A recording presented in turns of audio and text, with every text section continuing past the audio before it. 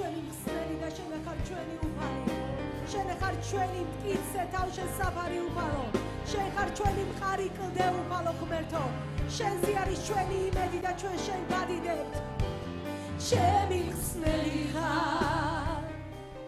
ვადიდებ შენ სახეს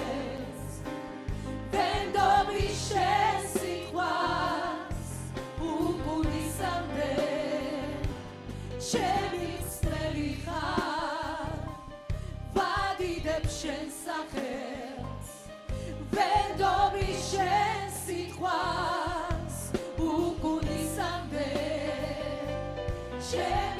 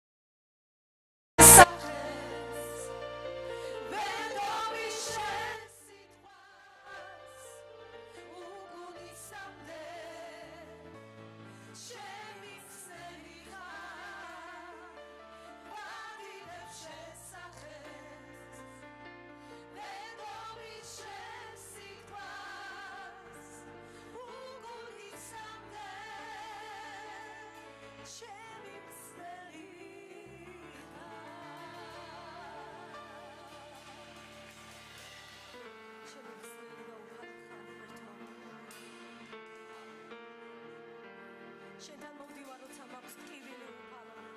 შენთან მოვდივარ როცა მაქვს სიხარული უფალო. ჩემი მწუხარების თუ სიხარულის მოსიარე შენ ხარ უფალო ღმერთო. შენ წარმართავ ჩვენს ცხოვრებას და შენ წარმართავ ჩვენს გზებს უფალო ღმერთო. და არასოდეს არ გვტოვებ უფალო ღმერთო. არასოდეს უფალო. და ყოველთვის შენ ახარ ჩვენთან უფალო ღმერთო. როდესაც მოვდივარ შენთან ჩემი გათანგული ფიქრებით ერთი სურვილი მაქვს მხოლოდ. შენ შეგეხომ ჭირდები რა თქვა უშენო ცხოვრება? უასრო არის. ერთი მიზანი მაქვს მხოლოდ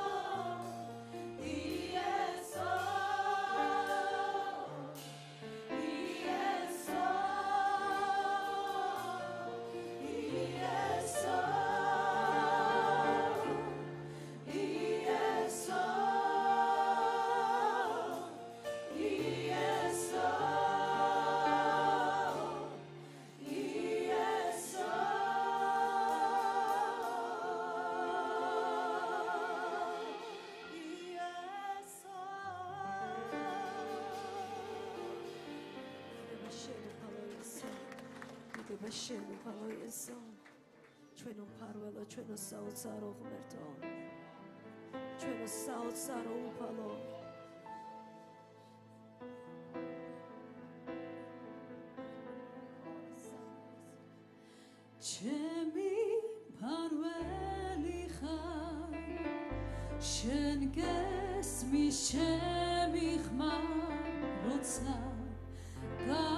საცდელში ვარ შენსკენ ვისრაფი შენ ხარ საყრდენი. და მეგენდობი უძლური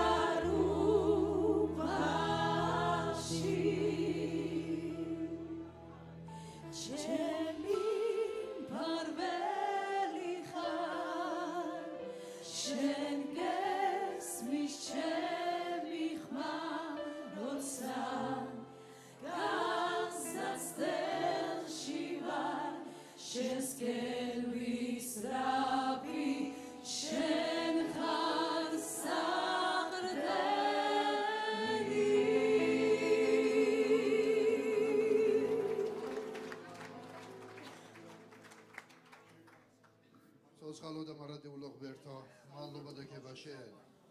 შენ ახარ ჩვენი უფალი, შენ ახარ ჩვენი საყრდენი. მადლობას გიხდი ჩემო უფალო ღმერთო. რომ სუსტ ადამიანს შეუძლია შენი ძლიერებით გაძლიერდეს და თქვას რომ ის ძლიერი არის. მადლობა უფალო შენ. ყველაფერთვის მადლობას გიხდით რომ დღევანდელ დღემდე მოგვიყვანე უფალო. რომ აკურთხე ჩვენი ცხოვრება, აკურთხე ჩვენი გულები უფალო. რომ შენ მოგვეცი უფალო, შენ დიდებული სულით რწმენა შემართება.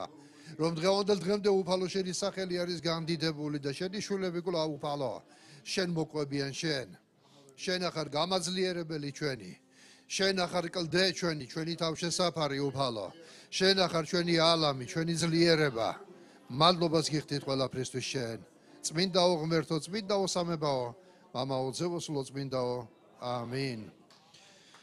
ღმერთს დიდება, დავზანდი ცოტა ხანს. ისე გუნდზე შეგეძლია ცოტა ხანს დასხდეთ. ჩვენი ლოცვის წინ ჩვენ უნდა ლოცვითი საჭიროებები მოვიტანოთ უფლის წინაშე. მაგრამ გულში მაქვს რომ ცოტა უდენი გაგეზიაროთ ლოცვის შესახებ.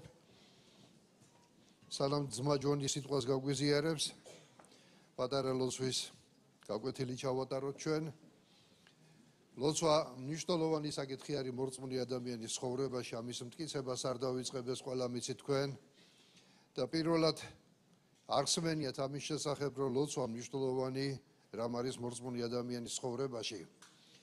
იმდენად მნიშვნელოვანი არის, რომ შეიძლება ვთქვათ, რომ ყველაზე დიდი საშიშროება, ყველაზე დიდი სიზნელე ადამიანის ცხოვრებაში ეს არის სტაბილური ლოცვითი ცხოვრება.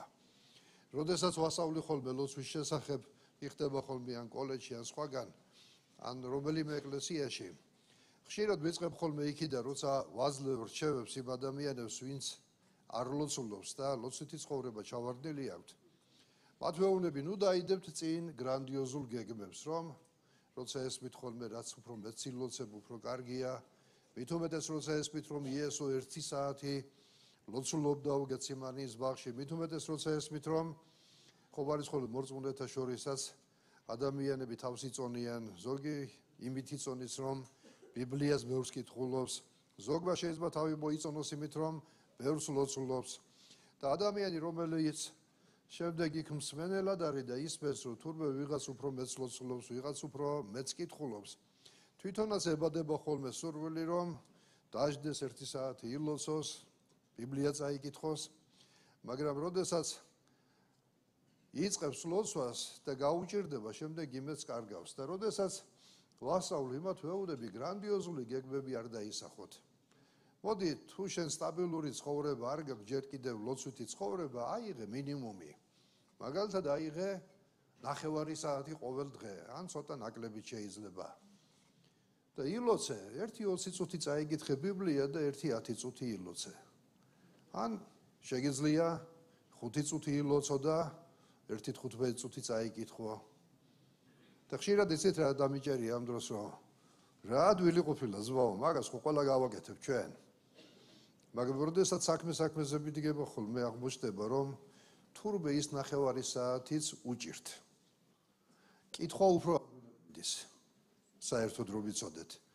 და კითხვაში შეიძლება 20 წუთი ისე წაიკითხოს ადამიანმა რომ უფრო ადვილად გაიაროს ეს ყველაფერი, მაგრამ როდესაც ლოცვის დროს წარსგება უფლისწინაშე ლოცვით შეიძლება ის 10 წუთიც კი გაუჭirdეს და ადამიანებს შემდეგ იმედი ეკარგებათ. მაგრამ იმედი არ უნდა დავიკარგო დავკარგო ჩვენ. ეს ის საკითხია რომელსაც ეშმაგი ძალიან ძლიერად ებრძვის და თუ კი ამას მიჩვეულები არა ვართ აი ამ სულიერ დისციპლინას ამას ჩვენ დისციპლინას ვეძახით. მაშინ შეიძლება გაუჭirdეს ადამიანს მაგრამ დისციპლინის ჩამოყალიბება იწყება მცირედიდან ვარჯიშიდან შენ უნდა დაიწყო ვარჯიში ამ საკითხში. ადამიანი რომელიც იწყებს ვარჯიშს მას არ შეუძლია ივარჯიშოს საათობით. შეიძლება დაიწყო ფეხით სიარული ექიმ გირჩია რომ დღეში უნდა იარო ამდენი ფეხით ეს კარგი არის. და შეიძლება შენ 100-200 მეტრიც კი გაგიჭirdეს მაგრამ როცა ამას ადამიანი ყოველდღე სტაბილურად აკეთებს დამერწმუნეთ რომ ნელ-ნელა მოდის ფორმაში და შეუძლია მას უფრო მეტი გააკეთოს. ასევე არის სულიერი დისციპლინა ჩამოძრფასება ამიტომ ჩვენ არ უნდა ვლოცულობდეთ მარტო მაშინ როდესაც მსახურებაზე მოვალთ. მარტო მაშინ არ უნდა ისმენდე სიტყვას როცა მსახურებაზე მოდიხარ. ყოველდღიურ ცხოვრებაში მორწმუნე ადამიანს ნორმალურად რომ სულიერად განვითარდე და გაიზარდო გჭირდება ყოველდღიური კვება. იკითხო ბიბლია და ილოცო. ამაში ხვახანი არაფერია. ეს გესმით რაც მორწმუნეები ხართ მაგრამ ისე გჭირდება ამის შეხსენება ამიტომ ჩამოძრფასო მოდი ყველაფერი ჩვენ მაგალით უნდა ვიყოთ იესოსგან. იესო ზღმერთისა იყო რომელიც მოვიდა ქვეყნიერებას და თვით ღმერთი იყო. მაგრამ მიწიერი ცხოვრების დროს როცა სხეულში ცხოვრობდა მას ლოცვითი ცხოვრება უმაღლეს დონეზე ჰქონდა. ის ლოცულობდა. ებრაელთა წერილში წერია თუნდაც ძე იყო მაგრამ მან ძლიერი ლოცვით და ღაღადისი ცრევლებით მოიტანა თავი მის წინაშე ვისაც მისი ხსნა შეეძლო თუნდაც ძე იყო მაგრამ ტანჯვით ისავლამან მორჩილება. ეს ადგილი ჩვენ რაღაცას გველაპარაკება. იესო რომელიც ხეულში იყო მოსული მას მან გვაჩვენა მისი მაგალითი ჩვენ. გაიარა ეს ინამდვილე სარბიელი როგორც ადამიანმა და ადამიანებს ჩვენ ყველაფრის მაგალითი დაგვიტოვა. იესო ლოცულობდა და მოძაფეები როდესაც ხედავდნენ რომ იესო ხშირად ლოცულობდა და ლუკას სახარებაში თუ წავიკითხავ ჩვენ მარტო ლუკას უწერია 7 მაგალითი სადაც იესო ლოცულობდა და არა ერთი მაგალითი სადღაცას რომ იესო მილოცა. ის ლოცულობდა და მოწაფეებმა უთხრეს მას გვასწავლე ლოცვაო. და იესომ შემდეგ ასწავლა მათ მამაუჩვენოს ლოცვა.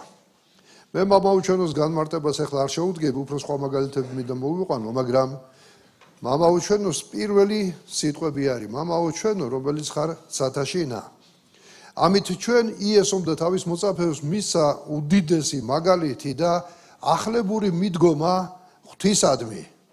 თუ მანამდე შეეძლოთ მათ ელოცათ რომ ღმერთი წარმოედგინათ სადღაც უზენაესი შორს მათგან და მისი სახელის წარმოთქმისაც კი შეიძლება ებრაელ ხალხს რიდებოდა და ეშინოდა იესომ თქვა როცა ლოცულობთ ასე თქვითო მამაო ჩვენო რომელიც ხარ სათაშინა ეს იყო რაღაც ახლებური მიდგომა იესოსი რომ მის მიმდევრებს აჩვენოს და ჩვენს გვითხრას და გვაჩვენოს როდესაც ჩვენ ვლოცულობთ ღმერთთან ღმერთი რომელიც მიუძნობელ სინათლეში არის ღმერთი რომელმაც შექმნა სადა ქვეყანა და სამყარო რა თქმა უნდა მიდგომა ღმერთისადმი რომ ღმერთი ჩვენი ზმაკაცია და საუკეთესო აი ახლობელი პიროვნება და რასაც ისურვებდა ერთი ხელი გაატკაცუნე მარტო და ყველაფერი აგესრულდება.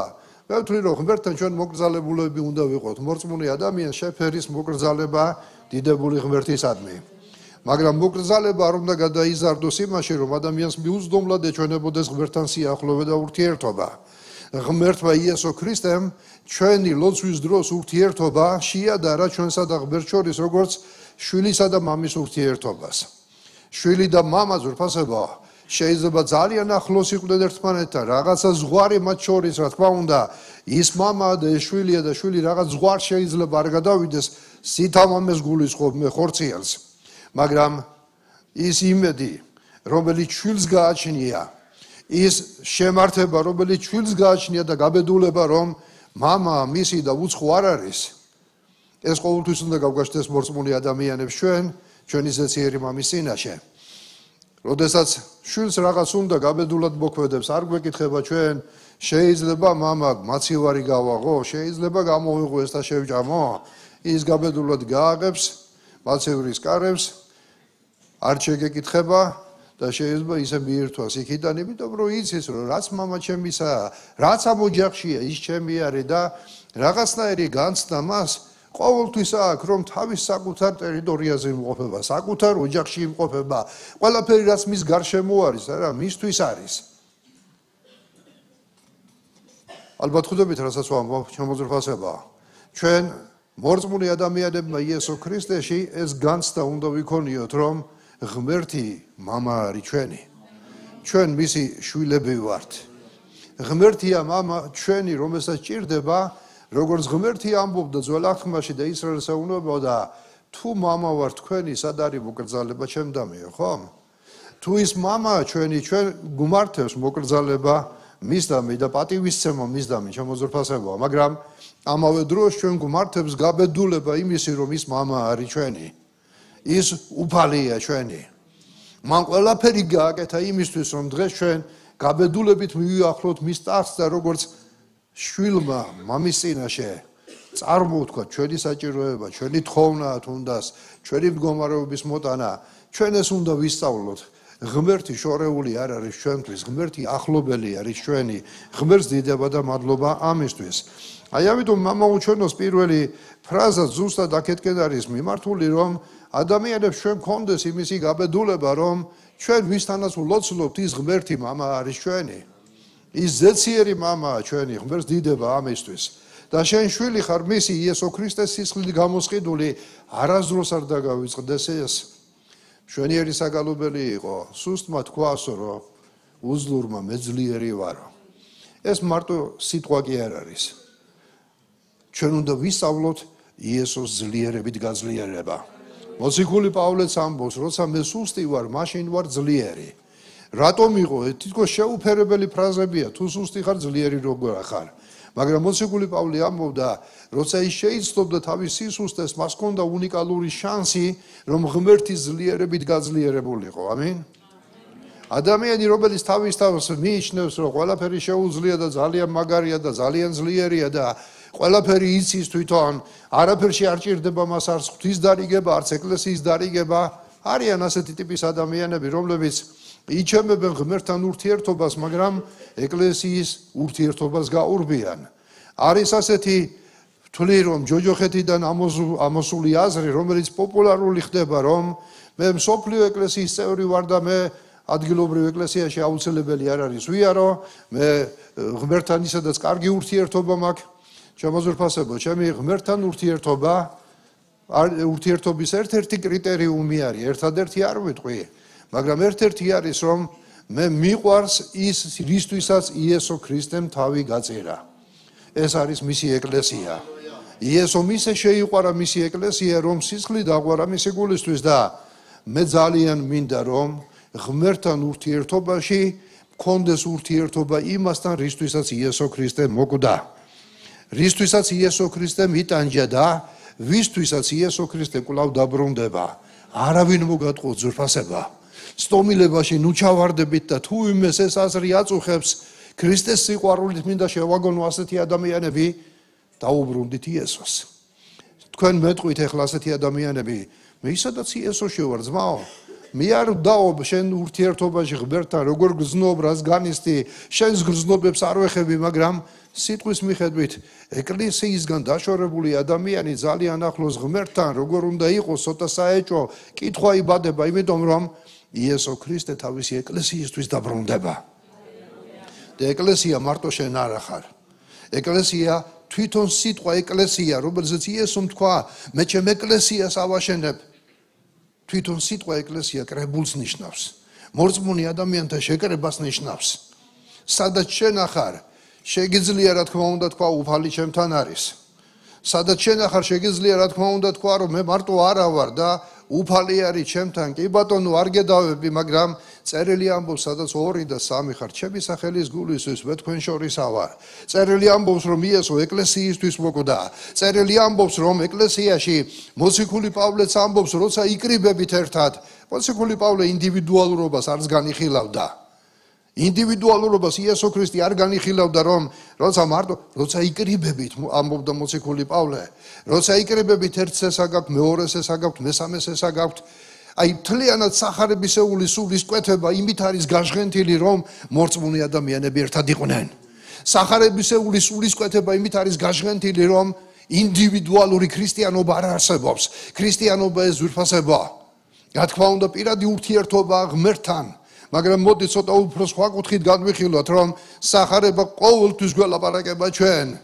კოლექტიურობაზე, ერთად ყოფნაზე, მოზიარეობაზე, კაცი კაცის სახეს ლესავს, წერია, რკინა რკინას ლესავს. უამრავი ადგილი უამრავი ადგილი, რომელიც შეიძლება გვიბოწებს, რომ ეკლესია ძლიერად უნდა ვიყოთ და ერთად ვიყოთ.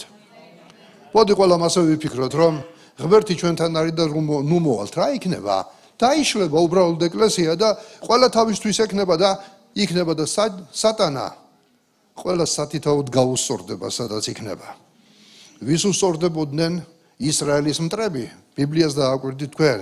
არ ვიცი ლოცვაზე ვლაპარაკობდი და ცოტა თებას გადაუხვიო მაგრამ მოდი ამას გავყვები. ვის უსწორდებოდა ისრაელის ტერი. ბანაკს ვინც კი ჩამორჩებოდა. აი ბანაკის ბოლოს რო იყვნენ ხოლმე მაჩანჩალები ან ვერ უსწრ ვიდიოდნენ ყამალეკი ეწეოდა და ხოცავდა მათ. ბანაკში მყოფებს ვერ ანადგურებდა იმიტომ რომ ბანაკში მყოფებზე უფლის მადლი იყო და ძლიერება იყო. ის იცავდა მათ. მინდა გითხრათ შემოძრფას ბანაკს გარეთ ნუ აღმოჩნდებით ეკლესია ეს ის ადგილია სადაც უფლის თვალი არის მიყრობილი ეს არ ნიშნავს იმას ჩვენ ვაკედან წავალთ რა თქმა უნდა უფლის წყალობა იმდენად დიდია რომ მისი თვალები მომართულია ჩვენს მიმართ სადაც ვართ. რა თქმა უნდა ეს უდავოა მე იმას არ ვამბობ რომ ღმერთი მარტო აქ არის ღმერთი ყველგან არის ღმერთი ყოველთვის დაყვება ჩვენ ღმერთი არის მფარველი ჩვენი რა თქმა უნდა ინდივიდუალურად როცა გავდივართ აქედან მაგრამ ეკლესია ხომ ეს მხოლოდ ფიზიკურად ერთად ყოფნა არ არის. ეკლესია, რა თქმა უნდა, ფიზიკურად ერთად ვიმყოფებით, მაგრამ ჩვენ სულში ვართ შეერთებულები. ჩვენ სულში ვართ გაერთიანებულები. და უფალი ლაპარაკობს, რომ ეს ეკლესია ყოველკვირეულად იკრებებოდეს, ნუ მიატოვებ თქვენ შესაკრებელ სერია. პირდაპირ წერია წმინდა წერილში, ნუ მიატოვებ შენ შესაკრებელს, რომელი ერთი ადგილი მოვიყვან, ვაღარ ვიცი რომ გაიგო ადამიანო შენ რომ კრებულის გარეშე ყოფნა არ შეიძლება. ნუ მიატოვებ თქვენ შესაკრებელს, ზოგიერთებს შევადექცათ. ზოგიერთებს მოძღრებად ექცათ, ზოგიერთებს არ ვიცი რა დექცათ, მაგრამ უფალი ამბობს რომ შენ უნდა იყო იქ სადაც მისი შვილები არიან. ცოცხალ ღმერთს დიდება და მადლობა. ეკლესიას ვერაფერი ვერ შეცვლის. უფალმა არ შეცვალა. უფალმა თქვა და სახარება გველაპარაკება ჩვენ რომ იესო ქრისტე თავია ეკლესიისა და სხეული ეკლესია. უთავო მხედარი წაგიკითხიათ ალბათ ხო? უთავო მხედარი. უთავო სხეული არ არსებობს ის კუდარია სხეული ეკლესია თავი ქრისტე არის ქრისტე და ეკლესია გაყოფილი არ არიან ერთმანეთისგან. და თუ ქრისტემ თავისი თავი არ გამოყო ეკლესიიდან და წერილი გვეუბნება რომ ის თავია მაშინ მე იმ შეულის იმ ეკლესიის ნაწილი უნდა ვიყო სადაც იესო ქრისტე არის თავი. დიახარია არის დღეს მოძღრება ადამიანები რომლების თავის დროზე ეკლესიაში იყვნენ ამასიათ ერთს ვესაუბრებოდი რომელიც არც ერთ ეკლესიას აღარ ეკუთვნის მე მსოფლიო ეკლესიას ვეკუთვნი და უსმენს გაუგებარ ადამიანს, რომელიც ყოველას ლანძღავს ინტერნეტში. შემოძრფასება. ასე არ არის. სოფლიო ეკლესია ჩვენს ვეკუთვნით. მაჩვენე სოფლიო ეკლესია ტერიტორიულად. იცით რა არის სოფლიო ეკლესია? თუ ამას მოისმენთ. ჩვენეული გაგებით სოფლიო ეკლესია ეს არის ის ეკლესია. ის მინდანები, რომლებიც ქრისტეს მოსვლიდან საუკუნების განმავლობაში ხო მიდიოდნენ ქრისტიანები, იხოცებოდნენ თაობა მიდის ქრისტიანებისა, თაობა მოდის. სოფლო ეკლესია მას არ გააჩნია ზურფასებო, არც საზღვრები გეოგრაფიული, ყველა დროის მაღლიდან შობილი ადამიანები ოდესღაც ქრისტესთან მოიყარიან თავს და ყველა ერთად ვიქნებით და ქრისტეს თვალთა ხედვით ის ეკლესია რომელიც დაიწყო იმ ეკლესიის ნაწილი ქვეყანაზე ვართ მეორე ნაწილი უფალთან არის. მაგრამ მისი ეკლესია ადგილობრივი ეკლესიებისგან შედგება. კონკრეტულ ტერიტორიაზე მყოფი ეკლესიებისგან შედგება. უფალმა იმ კონკრეტულ ეკლესიებში როგორც მოციქულმა პავლემ ტიმოთესაც დააბარა იმიტომ დაგტოვე რომ ყველა ქალაქში დაეყენებინა მას უხუცესები წემსები მასავლებლები რომლებიც მოემსახურებოდნენ იმ ხალხს ეს სტრუქტურა ეკლესიური. ვერსად ვერ გაექცევი ამას. ამიტომ მე უბრალოდ მინდა გთხოვოთ და გითხრათ შემოძრფასებოა მორწმუნე ხალხი მიამიტი ხალხი არ უნდა ვიყოთ წერილს უყუროთ რომ არ შევცდეთ. სტუნება დღეს ბევრია ქვეყანაზე. მე კონკრეტულ პიროვნებებს არ შევეხები. მე მინდა უბრალოდ გითხრათ რომ ის სული რომელიც დღეს მასტუნებელი ქვეყნიერებაზე არის ატყუებს ადამიანებს. მონანიება აღარ გჭირდება ერთხელ ხომ მოინანიე და ასე შემდეგ შემოძრფასება არის ბევრი რამ რაც სტომილებები შემოვიდა ამ ქვეყანაზე. მოძღრების სახით გინდა ფასეულობების სახით გინდა. ადამიანები ნელ-ნელა მიექანებიან და ისეთი დრო არის ეკლესიას განსაკუთრებული ყურადღება გვართებს ჩვენ. ფასეულობებშიც. ეკლესიის აზრი უნდა გვაინტერესებდეს დღეს ადამიანებს აღარ აინტერესებთ თუ ეკლესიასთან ვიღაცას პრობლემა აქვს და ვეუბნებით ადამიანს რომ პრობლემა იცი რა მას ეკლესიასთან აქვს პრობლემა ჩემთან ხო არა აქვს შენ და ეკლესია გაყოფილი ხართ? თუ ეკლესიასთან პრობლემა აქვს, ეკლესია ჩვენა ვართ. თუ ჩვენ ფასეულობებთან სიტყვაზე ძმას ალეკოს პრობლემა ექნება, ჩვენთან კი არ აქვს პრობლემა, მარტო უფალთან აქვს და უფალთან ვისაც აქვს პრობლემა, მე ისე მიყვარს უფალი რომ მე უფლის გვერდზე მინდა ვიდგე ყოველთვის და არა იმ ადამიანების გვერდით, რომელიც უფლის რომელიმე სიტყვას უგულებელ ყოფენ. იესოა ჩემი წინამძღვარი. იესოა ჩემი საუკეთესო მეგობარი. იესო რომელიც მოკვდა ჩემი გულისთვის და იქ უნდა ვიყომე სადაც იესო არის. იმ ფასეულობებს უნდა ვიზიარებდე რისთვისაც იესო მოვიდა ქვეყანაზე. და თუ საჭირო გახდა კიდეც, იესომ თქვა აიღეთო თქვენი ჯვარი და გამომყევით მე, ჯვარი ასოცირდებოდა სიკვდილთან იმ პერიოდში. თუ საჭიროა ქრისტეს სახელის გულისთვის და მისი ფასეულობებისთვისაც საკუთარ თავსაც უნდა მოუკვდე საკუთარ მესაც ეგოიზმსაც და თუ საჭირო გახდა იესო ქრისტეს სახელის გულისთვის სიცოცხლეც უნდა გაწირო. იმიტომ რომ ამ ქვეყნით არ თავდება ზეცაში ვაგრძელებ ჩვენ ცხოვრებას უფალთან და ოდესღაც როცა უფალი დაბრუნდება ქვეყანაზე და მისი მეფობა იქნება, მაშინ გამოფწინდებიან ის ადამიანები, ვინც შეიძლება დღეს არაფრად მიჩნეულები არიან. ის ადამიანები, ვინც დღეს ერთგული არიან ღმერთისა, ის ადამიანები, რომლებიც შეიძლება დამცირებულიც არიან, დათრგუნ ადამიანთა მიერ უგულებელ ყოფილიც არიან. იესო ამბობს, რომ ისინი აღიარებული იქნებიან და მამის დიდებაში იქნებიან. ალელუია. თუ ეს ზღაპარი გონიან უღარ მოხალახ მეორე კვირას.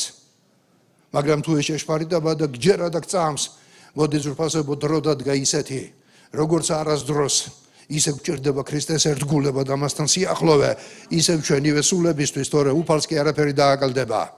მას თავისი გეგმა აქვს. ჰალელუია. და უბრალოდ ეკლესიის წევრებმა სადაც დაინახავთ არასწორ მოძღვრებას, არასწორ რაღაცას მოისმეთ, ნუ გააზიარებთ იმებს.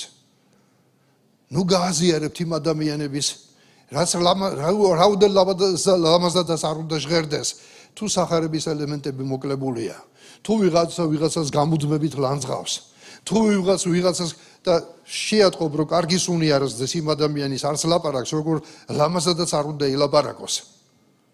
იცოდე? ნუ გახდები თანამონაწილე და ნუ გააზიარებ ყველაფერს რაც გასაზიარებელი არ არის. სოციალურ ქსელებში ყველაფერი გასაზიარებელი არ არის გაზიარება იმას ნიშნავს, რომ რაღაცას ვეთანხმები და იმას რეკლამირებას უკეთებ მე. ნაკლები დრო ხარჯეთ იქ.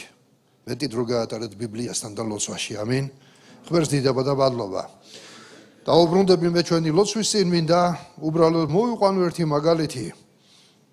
სადაც იესო ქრისტემ აუხსნა რაღაც ასწავლა მოწაფეებს და მინდა წავიკითხო ეს ადგილი და ჩვენი ლოცვის წინ რაღაც ვისწავლოთ აქედან უბრალოდ. უთხრა მათ ლუკას მე-11 თავის მე-5 მუხლიდან მე-10-მდე ვკითხულობ. უთხრა მათ, რომელიმე თქვენთაგანს მეგობარი რომ ხავდეს. მიადგეს შუაღამისას და უთხრას, მეგობარო, მას ესხე სამი პური. რადგან ნამგზავრი მეგობარი მესტუმრა და არაფერი გამოაჩნიაო რომ შემთავაზო. მან კი შიგნიდან გამოზახოს. ნუ მაწუხებ, კარი დაკეტილია. ბავშვები ჩემთან მიწვანან ლოგინში არ შემიძლიაო წამოდგომა და პურის მოცემა. გეუბნებით.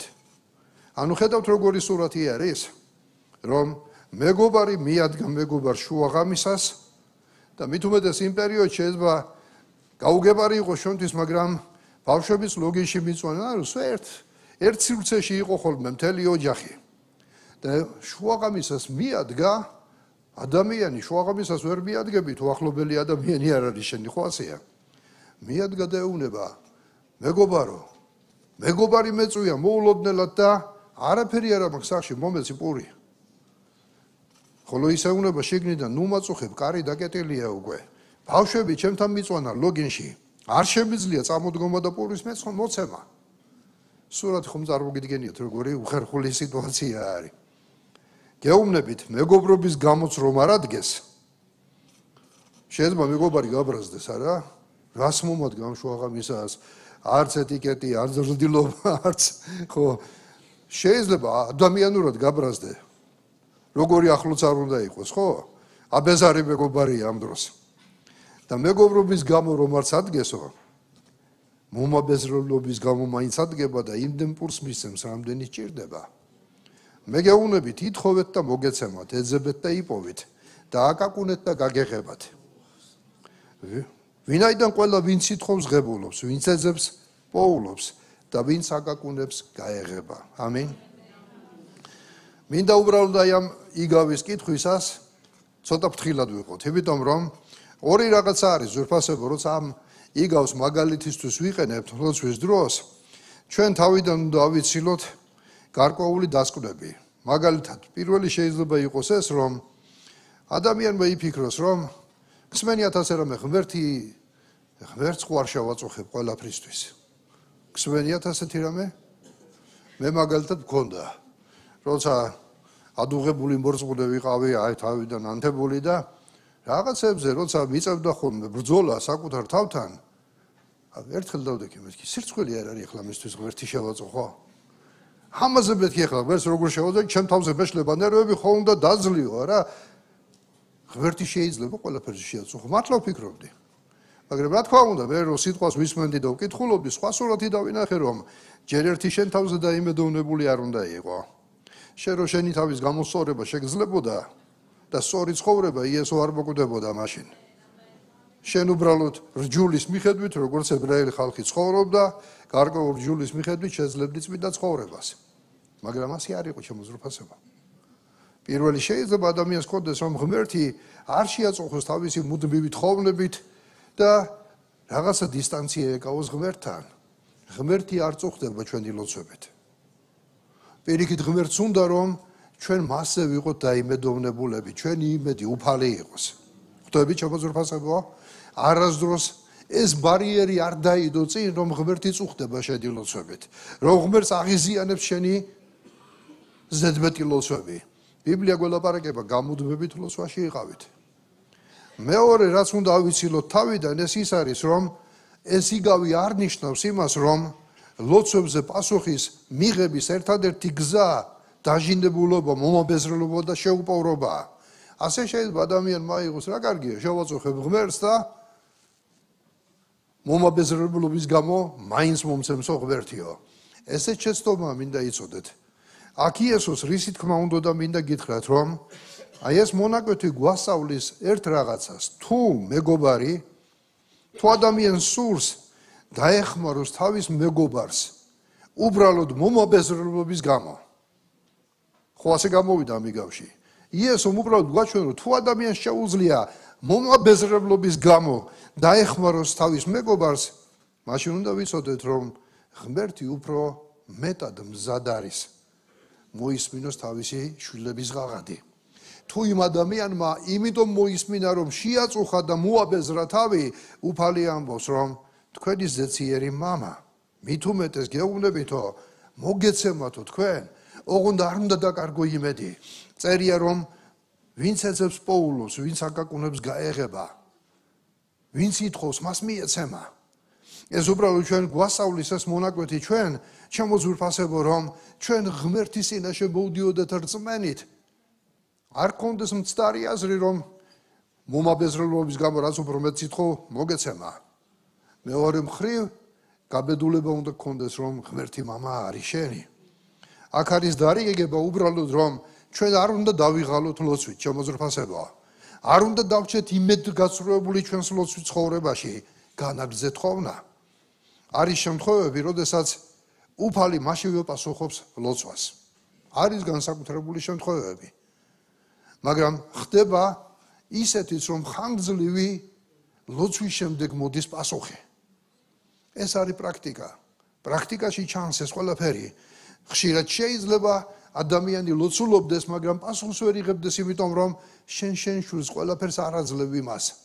რასაც ის გთხოვს, იმიტომ რომ იცი რომ სასიკეთოდ არ ითხოვს ის რაღაცა შენგან. ღმერთმა იცის ჩვენი ცხოვრება და ჩვენი მომავალი. აი აქ ჩვენ ზურფასებო უფალი გვეუბნება, რომ ჩვენ უნდა ვისწავლოთ რწმენით დგომა ღმერთის წინაშე. ჩვენი საჭიროებების დროს არიან ადამიანები, რომლებიც იმედგაცრუებულები რჩებიან, რომ ლოცულობდა, ლოცულობდა და პასუხი ვერ მიიღო.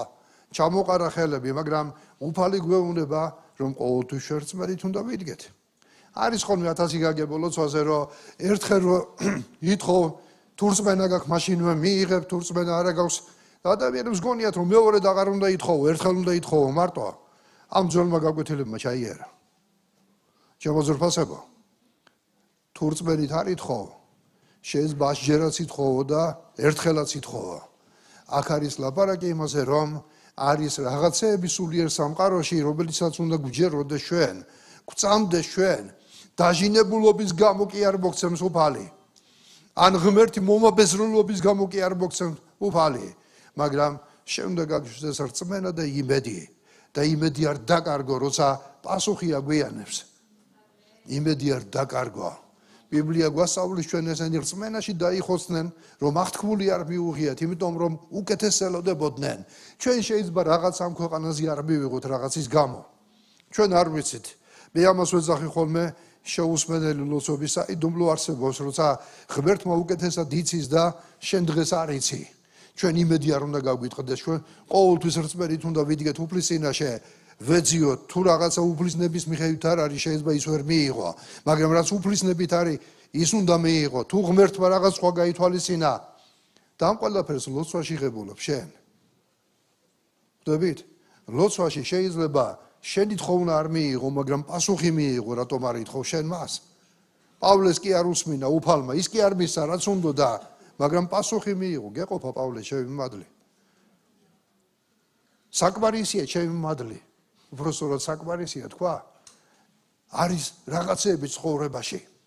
უფალი ჩვენი მოლაპარაკე ღმერთი არის. მაგრამ თუ რაღაცაზე პასუხი არ მოდის იმედი არ გაიტეხო ეს იგავი იმას კი არ გვასწავლის ეხლა მოაბეზრე თავი ან არ მოაბეზრო უფალს აქ უბრალოდ მაგალითი მოყავს რომ თუ ეს მომაბეზრებლობის გამო აძლევს ჩვენი ღმერთი ხო мама ის ამ ადამიანს არ აგავს და შემდეგი იგავიც არის მოყვანილი უსამართლო მოსამართლეზე ზრფასებო გახსოვთ ეს იგავი ამას აღარ წავიკითხავ რომ მეტი აღარ დავიკავო მაგრამ ეს ბოროტი კაცი იყო რომელიც იესო მაღწერა უსამართლო ადამიანი იყო რომელიც იესო მაღწერა და თქვა რომ ასეთი ადამიანი იყო რომ ღმერთის არეშინო და კაცის არასხვენო და კორუმპირებული მოსამართლე. ხო არიან ასეთი უსინდისო ჩინოვნიკები არეშინია ღმერთის და არასხვენი ადამიანის. მარტო თავის თავს მიხედოს. და ის ქრივი როცა აწუხებდნენ მას შევიწროებლები ის მიდიოდა მოსამართლესთან მოსამართლე ყურადღებას არ აქცევდა იმიტომ რომ ამ ქრივისგან რა უნდა რას მოელოდა? რამოდენიმე ასეული დინარი რო ჩაედო ჯიბეში მაშინვე მიხედავდა. მაგრამ შეაწუხა ყველგან ხვდებოდა წარმოიდგინე ახლა ვიღაცა მთხოვნელი რო ყავს გამოდიხარ ოფისიდან იქ დგას გახვალ ჭიშკარში დგას სახლიდან გამოდიხარ იქ ხვდება. დამიცავი შემიმტრებისგან დამიცავი შემიმტრებისგან და მოსამართლე მეცი რა თქვა ხო არის ხოლმე თვალებში მაზოლი ამომივიდაო რა იმდენად ხშირად ხედავ და მან თქვა მართალია ღმერთის არ მეშინია კაცის არ ამცხენია მაგრამ თავისი მომაბეზრებლობის გამო მომივცემა ანუ დავითსა უმას ოღონდ აქ აღარ ვხედავდი ამ ადამიანს. ოღონდ თვალებში მეტი მაზოლი აღარ ამიყვანოს. ეკალივით იყო თვალებში უკვე და გადაწყვიტა მან იესო თქვა ხედავთ? ეს იმას კი არ ნიშნავს, რომ ღმერთი მოსამართლო მოსამართლეს გავსი არის. მაგრამ უფალმა თქვა ხედავთ? აი უსამართლო მოსამართლემ. დაიცვა იმიტომ რომ ყელში ამოუვიდა მისი ყურება. რაოდენ დიდია ჩვენი ზეციერი მამა. რომელსაც უყვარს თავისი შვილები შემოზრფასება აქაც უბრალოდ იცით რა ლოცვაში არ უნდა დავიღალოთ ჩვენ. ლოცვაში არ უნდა დავიღალოთ. ყოველთვის უფლის წინაშე უნდა ვიდგეთ თორე ხანდახან ადამიანებს იცით რუსორდის ახსენდება როდის გახსენდება ექიმი და სასწრაფო როცა უცბად გაგიჭირდება და აკრეფომერი 112 ელოდები ხან აგვიანებს ხან დროზე მოდის მაგრამ 112 ცითვის არ ეჭirdება? ვინც ჯანსაღ ცხოვრებას ეწევა. ასე არის ხო? თავის თავს უვლის ჭამს იმას, რაც ერგება ფიზიკური აქტივობა, ანუ ერთ სიტყვით თავის თავს უვლის და შეიძლება ასეთ ადამიანს ექიმი არ დაჭirdეს დიდი ხანი. მაგრამ როგორც კი გაუჭirdა მაშივე გაიქცა ექიმთან. როგორც კი გაუჭირდა, მაშივე დარეკა. ხანდახან მორწმუნეები ვემსგავსებით ხოლმე, აი ასეთ სიტუაციაში მყოფ ადამიანს გაგვიჭირდა 112 არიქა იესობის შველე. გამორბის ეკლესიაში, მანამდე არის ხო ეკლესიაში და არიქა ძმებოდებო ილოცეთ. კი ბატონო ეკლესია ვილოცეთ და ღმერთის ისეთი მოწყალე არის, რომ აი შეიწყალებს ხოლმე ამ ადამიანს რა. მე რა ისევ გათამამდება ეს ადამიანი და ყველაფერი კარგად არის. ისევ ისევ დაჭirdება ისევ 112. ჩამოზრფასებო. მოდი მივეჩიოთ იცით რას? ყოველდღიურ ურთიერთობას ღმერთთან. 112 აღარ დაგჭirdება. და რამე რომ გაგიჭirdეს კიდე ჩვენ. დაჩქარებული ლოცვა მოდის შემოძრფასებო პასუხი. იმიტომ რომ შენ ისედაც ფორმაში ხარ, შენ ისედაც ლოცვებში ხარ. როცა გაგიჭirdება, მაშინ გჭirdება შენ რომ თავი ფორმაში მოიყვანო. იწევს ადამიანი ლოცვებს, მარხვებს, კითხვას და აი ნელა-ნელაო აზრზე მოვდივარ, ფორმაში ვდგებიო, იტყვიან ხოლმე მორწმუნეები, იმიტომ რომ კარგახანი ამ ფორმაში ვერ იყო და დრო ჭirdება. ამ დროს რაღაცა რო გაგიჭirdება, დრო აღარ ითმენს. მაგრამ ადამიანი, რომელიც ყოველდღე ფორმაშია, რაღაცაც რომ მოხდეს, ხო, ფორმაში მოსვლა აღარ ჭirdება, ისედაც ლოცვაშია და პირდაპირ ლოცვებში დგას. მე მგონი ხვდებით არა განსხვავება შემოზრფასება. ამიტომ რჩება მარტო კრებაზე ნუ ილოცებ. დაიწყე ყოველ დღე რაღაცა დრო გამოყავ იყოს ეს ნახევარი საათი წაიკითხე ილოცე და შენ დაინახავ თანდათან თუ ეს სტაბილური იქნება შენ ცხოვრებაში თანდათან როგორ ფორმაში მოხვალ სულიერად ფორმაში იქნები და როცა სულიერად ფორმაში ხარ უფალი გელაპარაკება. უფალი შენს გულს ელაპარაკება. უფალი შენ შინაგანს ელაპარაკება. შენი მსიტკბოებას განისტი ღმერთთან რასაც ურთიერთობა ქვია მამასა და შვილს შორის. აბა დაფიქრდი მე არ მინდა პასუხი გამცე. რამდენი ხანია ეს ტკბილი ურთიერთობა უფალთან აღარ გქონია რამდენი ხანია რაც ეს განცდა სიტყვების აღერთთან სიახლოვეში აღარ გქონია და თუ დაინახო რომ აღარ გქონია ერთი რამე იწოდე. უფალს ძალიან სყურია. შენთან სიახლოვე. უფალს ძალიან ძალიან უნდა რომ შენ გიხილოს თავის წინაშე. მლოცველი გიხილოს თავის წინაშე. მის სიტყვის მის სიტყვასთან მოზიარეობაში ბიბლია გადაშლილი. მკითხველი და მლოცველი. ღმერთს ძალიან უნდა რომ შენ გიხილოს ამ მდგომარეობაში. ამენ ცოცხალების დიდება. მოითეხლა ჩამოზრფასება ჩვენ ვილოცოთ. აი ეს ხოვნები და საჭიროებები ვინც მოიტანეთ უფლის წინაშე გაითვალისწინეთ ეს რასაც ვლაპარაკობ მე.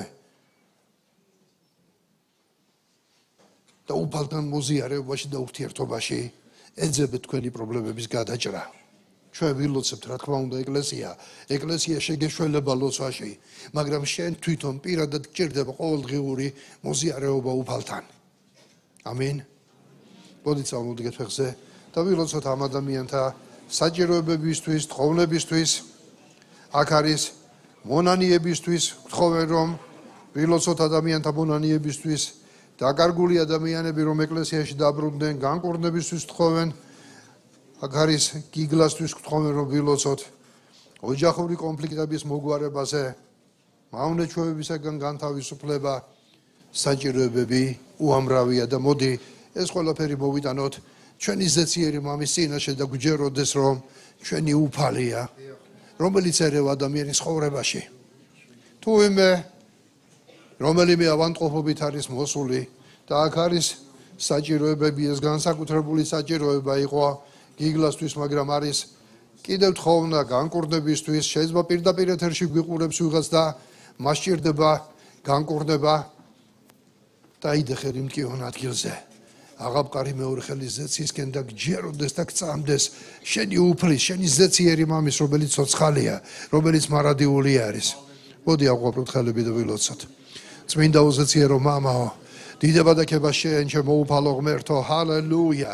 ჰალელუია ცოცხალო და მარადიულო ღმერთო მიიღე შენ ქება დიდება და თაყვანისება ჰალელუია მიიღე შენ ქება დიდება და თაყვანისება ჩემო წმინდაო მამაო.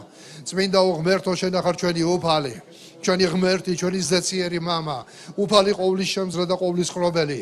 მადლობა შენ უფალო ღმერთო, ამ ძვირფასი წუთებისთვის, რომელიც გვაჩუქე უფალო ღმერთო.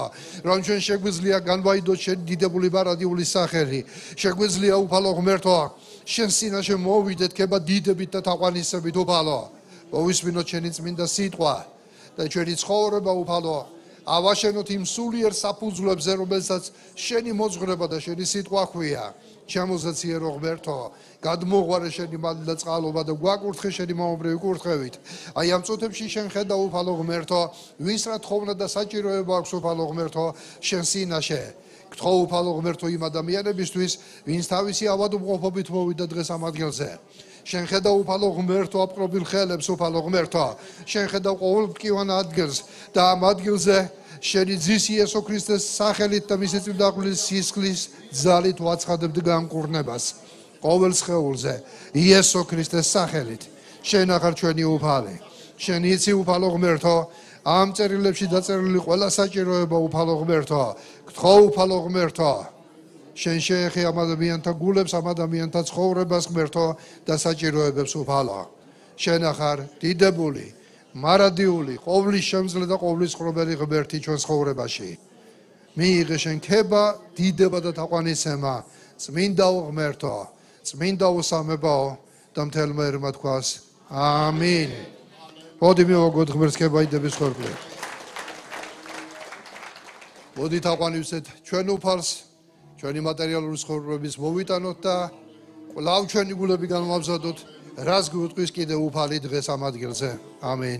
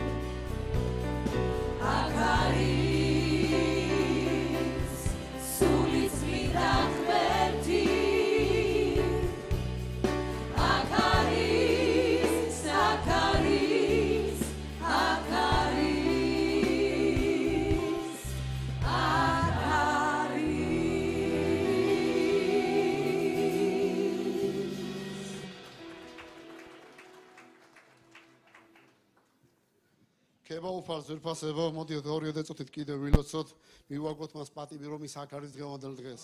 ძვირფასო ზეციე რომ ამა მადლობა რომ შენ შენი ძვირფასის სულით შენი ძვირფასით ამდასტრებით ბრძანდები ამ ადგილზე შენი წმინდა კურთხეული ხელი არის ჩვენზე და ჩვენ კვლავ გავედრებ და გთხოვთ უფალო ელაპარაკე დღეს ჩვენს გულებს უფალო შენი სიყვარული ჩვენგან ის მდგომარეობა შენი სიღმერთო ის რაც ჯერ არც კი დაწყებულა ჩვენს ცხოვრებაში შენი სიბოლო როდესაც ჯერ არც კი არის დასაწყისი შენ ყოვლის მწოდნე ყოვლადწლიერი და დიდებული უფალი ხარ.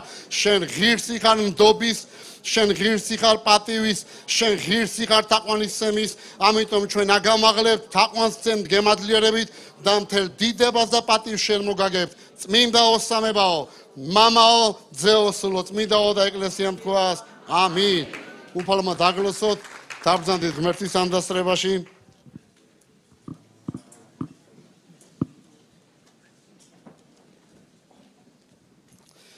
ქება უფალს. დიდება იესოს. კეთილია უფალი ძვირფასება ძალიან ძალიან კეთილია ძვირფასება უბრალოდ კეთილი არ არის. ძალიან ძალიან კეთილია უფალი. მოწყალია უფალი. არც უბრალო მოწყალი არ არის. ძალიან ძალიან მოწყალი არის. სურგზელია უფალი. უბრალო სურგზელი არ არის. ცოტას არითმენს ძალიან ბევრის მოთმენა შეუძლია ძალიან ძალიან სურგზელია ღმერთი. პატიებელია უფალი. მაგრამ უბრალოდ პატიებელი არ არის. დღეს კი გაპატია, მაგრამ ხვალე, ხვალ მოგხედავ შენ.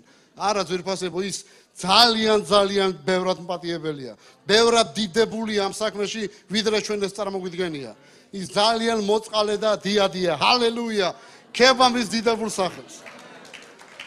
მოკლედ ძალიან მიხარია დღევანდელ დღეს, რო არ ღმერთის ეკლესიაში და ვარ აქ ძვირფასებო, იმიტომ რომ ზოგჯერ ისე მიდის ხომ და კვირა დღეები რომ ხან რომელ ეკლესიაში ხანსად გვიწეს ყოფნა და ზოგჯერ მეკითხები ხომ სად დაიკარგე და არ დავკარგულო რა ქავარ უბრალოდ მიხარია რომ დღეს აქ ვარ. და მადლობა მსკემსოვლე გამსაშვალებისთვის რომ გაგიზიარო ძალიან მოკლედ ძვირფასებო ცოტაოდანი ღვთის სიტყვა. მე დღეს ვირფასებო მინდა გამედულებაზე ვილაპარაკო და ესეთ შესავალს რომელიც მსკენსმა გააკეთა ვერც ვიოცნებებდი ვერც ვინატრებდი ძვირფასებო მთელი ჩემი ნახევარი ქადაგები შემიძლია აღარ ვიქადაგო და ბოლოს ვიქადაგებ რაც მეორე ნახევარში უნდა მეთქვა. დიდება უფალს გულწრფელად ვამბობ ლოცლოდი მე რაღა უნდა თქვა უფალო მეთქი იმიტომ რომ ყველაფერი თქვა რაც კი შეიძლება ამის გახშენ ამიტომ უფალი დამეხმაროს ეხლა ძვირფასებო რომ ან შევავსო და არ გავაფუჭო. დიდება იესოს ამინ? დამეხმაროს უფალი. და ერთი რაც მინდა თავიდან აღვნიშნო ძირფასებო მე არ ვიცი თქვენ როგორ გენიშნათ მაგრამ აი ეს მნიშვნელოვანი სიტყვა რაც მსკენსმა თქვა მე ძალიან მომხვდა გულზე. აი ეს უბრალო ნახევარი საათი რომელსაც ხშირად არ ვაქცევთ ყურადღებას მახსოვს ადრე რომელიღაც სოფელში ვიყავი არ ვიცი და სერია ქონდა ესეთი ლოსვაზე სწავლების და იქ იყო ლაპარაკი 5 წუთზე ნახევარ საათზე არა 5 წუთი უნდა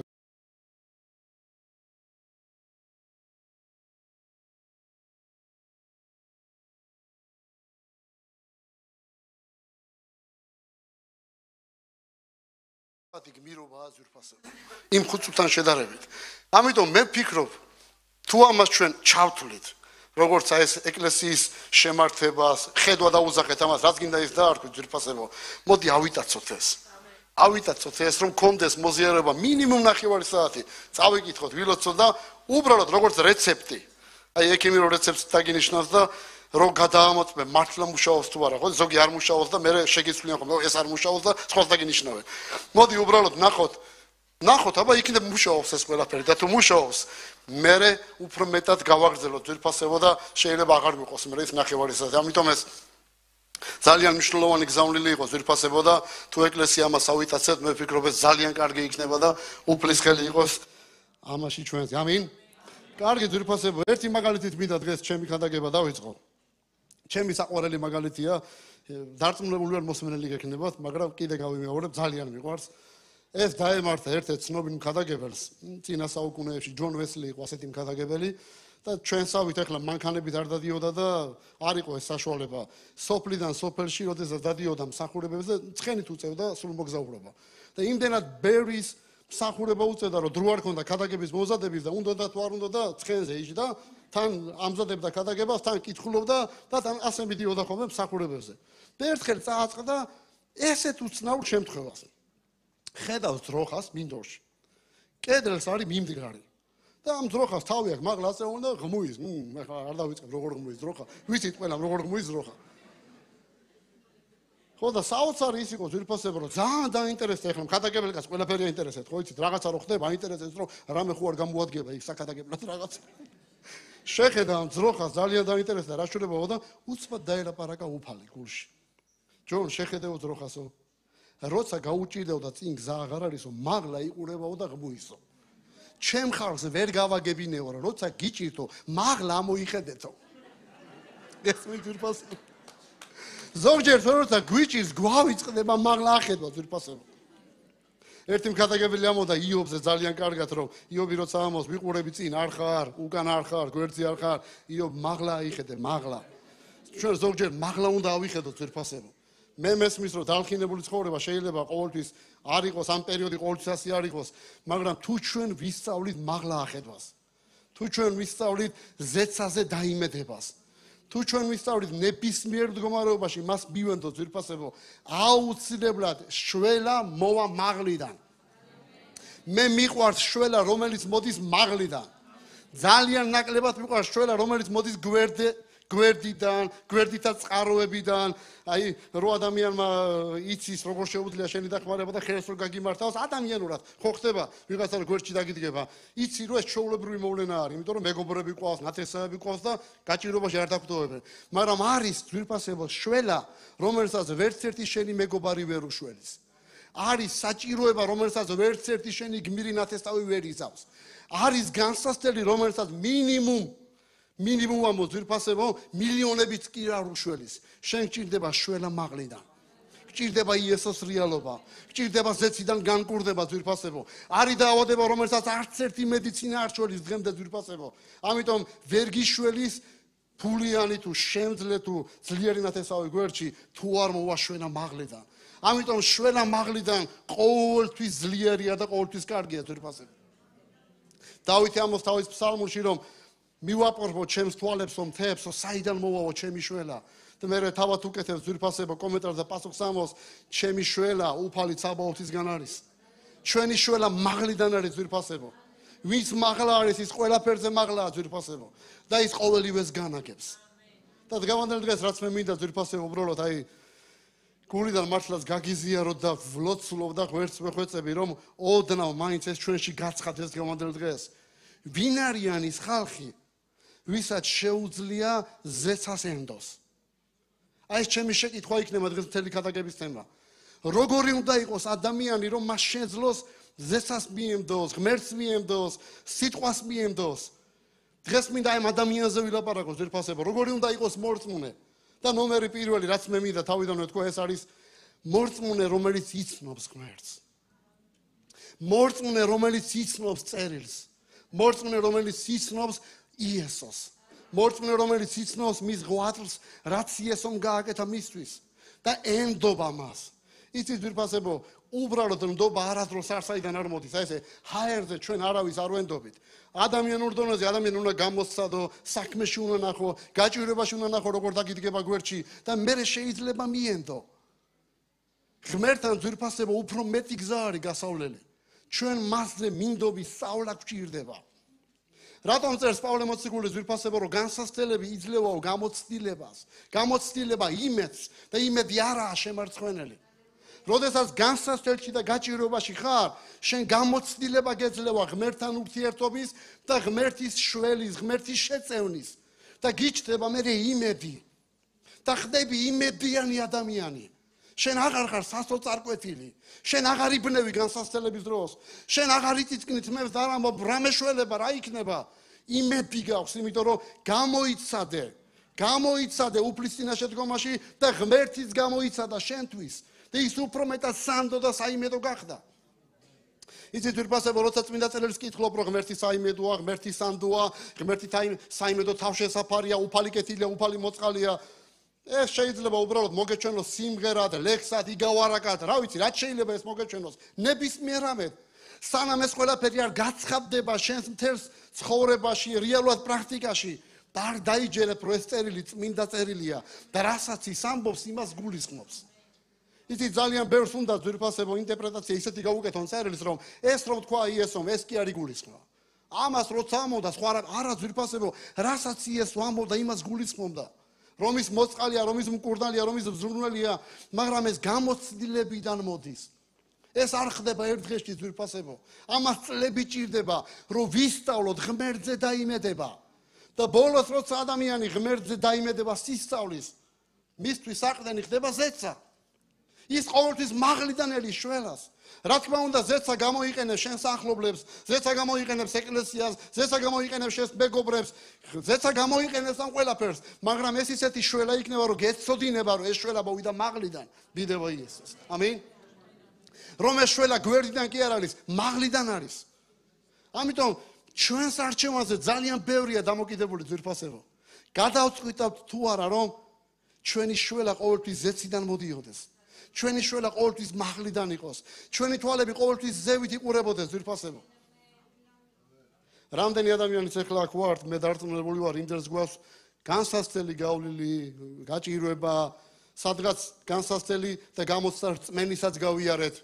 სადღაც უნდა მიმდობოდით ღმერთს და ჩვენ და სამართლინოდ ვერ მივენდეთ.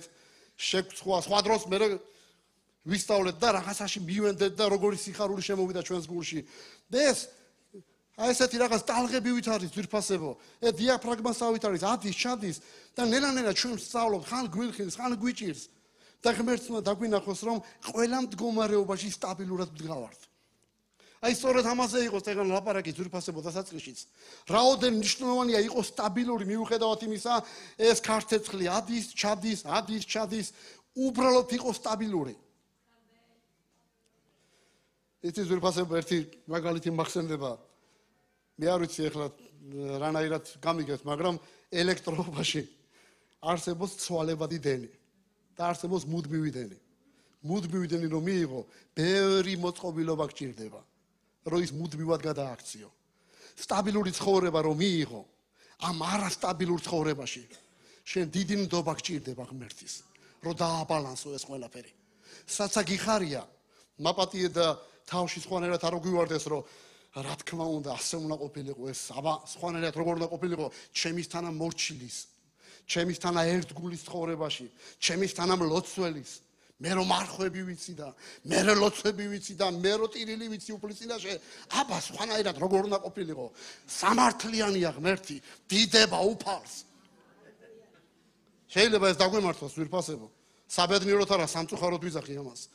ან შემდეგი ან სხვანაირად პირიქით საწინააღმდეგო რომ ამდენს ლოცულობ, ამდენს კითხულობ, ამდენს მომსახურები ღმერთს და მე ხო არაფერში არ მიმართლეს. ბამბაროციოდეს, მიაგური დამეცემა თავზე. და იცის ვირფასებო, არც ერთ უკიდურესობაში არ უნდა გადავარდეთ ჩვენ. არც ერთ უკიდურესობაში სტაბილურად უნდა ვისწავლოთ ღმერთზე მინდობა. ეს ძალიან ძალიან მნიშვნელოვანია ვირფასებო. ვისწავლოთ ღმერთზე და იმედება. და როცა ვკითხულობ წერილებს და მე ძალიან მიყვარს პავლე ძვირფასება და პავლეს წერილებზე, ნუ ძალიან მიყვარს, რა ვქნა, ძალიან მიყვარს. და როცა უყურებ ამ კაცის ცხოვრებას, თავის გულის ნადებს, როგორ უზიარეს მორწმუნეებს და შიგადაშიგ დააკვირდებით, რომ ინფორმაცია მის წერილებში ჟონავს.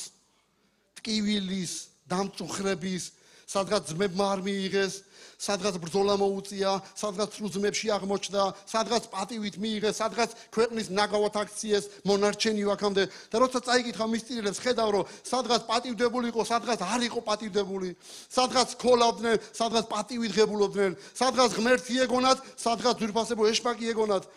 და ამ კაცის ცხოვრებაში ეს ყველაფერი იყო და ეს ყველაფერი ძვირფასებო იყო შედეგი იმისა, რაც პავლე იყო სინამდვილეში. ვინც პავლე იყო სინამდვილეში, როგორცაც ის ენდობოდა ღმერთს და მას შეეძლო ასეთი ურთიერთობა ქონოდა ღმერთთან, რომ გაბედულად შეეძლო ეთქვა, მომაშორე ეს ეკალე. მომაშორე ეს განსასწრებელი. აღარ მინდა, აღარ მინდა ეს ციხეები, აღარ მინდა ეს ქვები ჩაკოლვა. მაგრამ უფალიეულეო და გეყოფაო ჩემი მადლი. საკმარისია. საკმარისია პავლე ისევ გაგზელდება ციხეები. ჯერ სადახარ შენი სისკი არის რომ თავი უნდა მოგაჭრან რომში. ნუ გეშინია, ყველაფერი კარგად იქნება. როგორც კი მოგაჭრიან თავს, ჩემთან გაჩნდები ეგრევე. ჯერ შენ კიდე არ იცირები გელოდება წინ, ამიტომ გეყოფა ჩემი მადლი. გესმის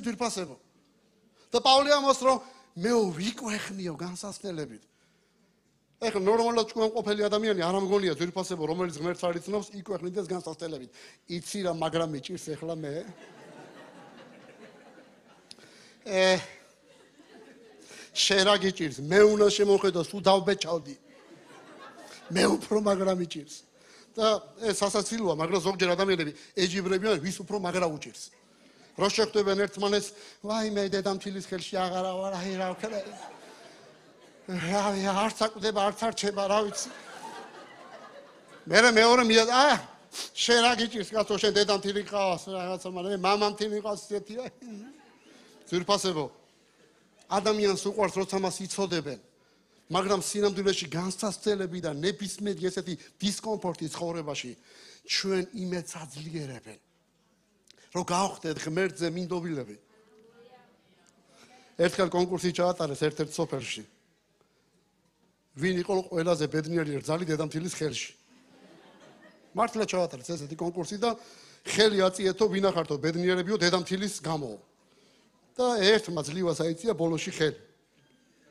ну არც ერთი ვინც იყო არ იყო მადლიერი დედამთილის და ყველას გაუკვირდა შენ რითი ხარო ბედნიერიო? და წამოდგა ეს ქალი და თქვა რა ვიცი აი ბედნიერი ვარო რომ ჩემ აქ მან რომ მომიყვანა ორ კვირაში მოკვდა ჩემი დედამთილიო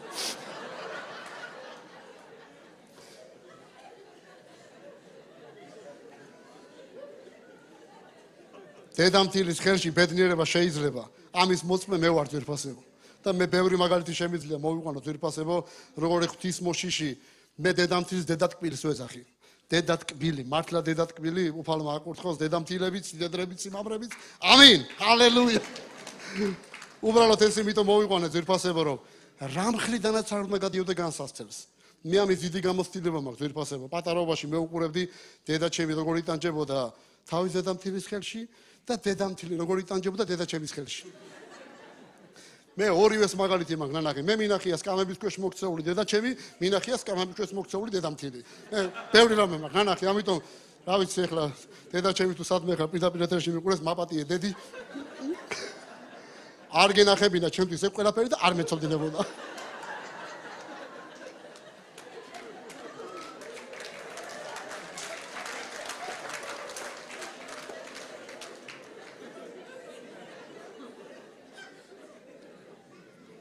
ისე კაი ფორმაში იყო დედა ჩემი, ისე მოქნილი ქალი იყო. ბებოს ცოტა უჭირდა, ჯოხს ხმარობდა ხოლმე, მაგრამ ეს ჯოხი იყო სერიოზული იარაღი. ესე რომ დაატრიალებ და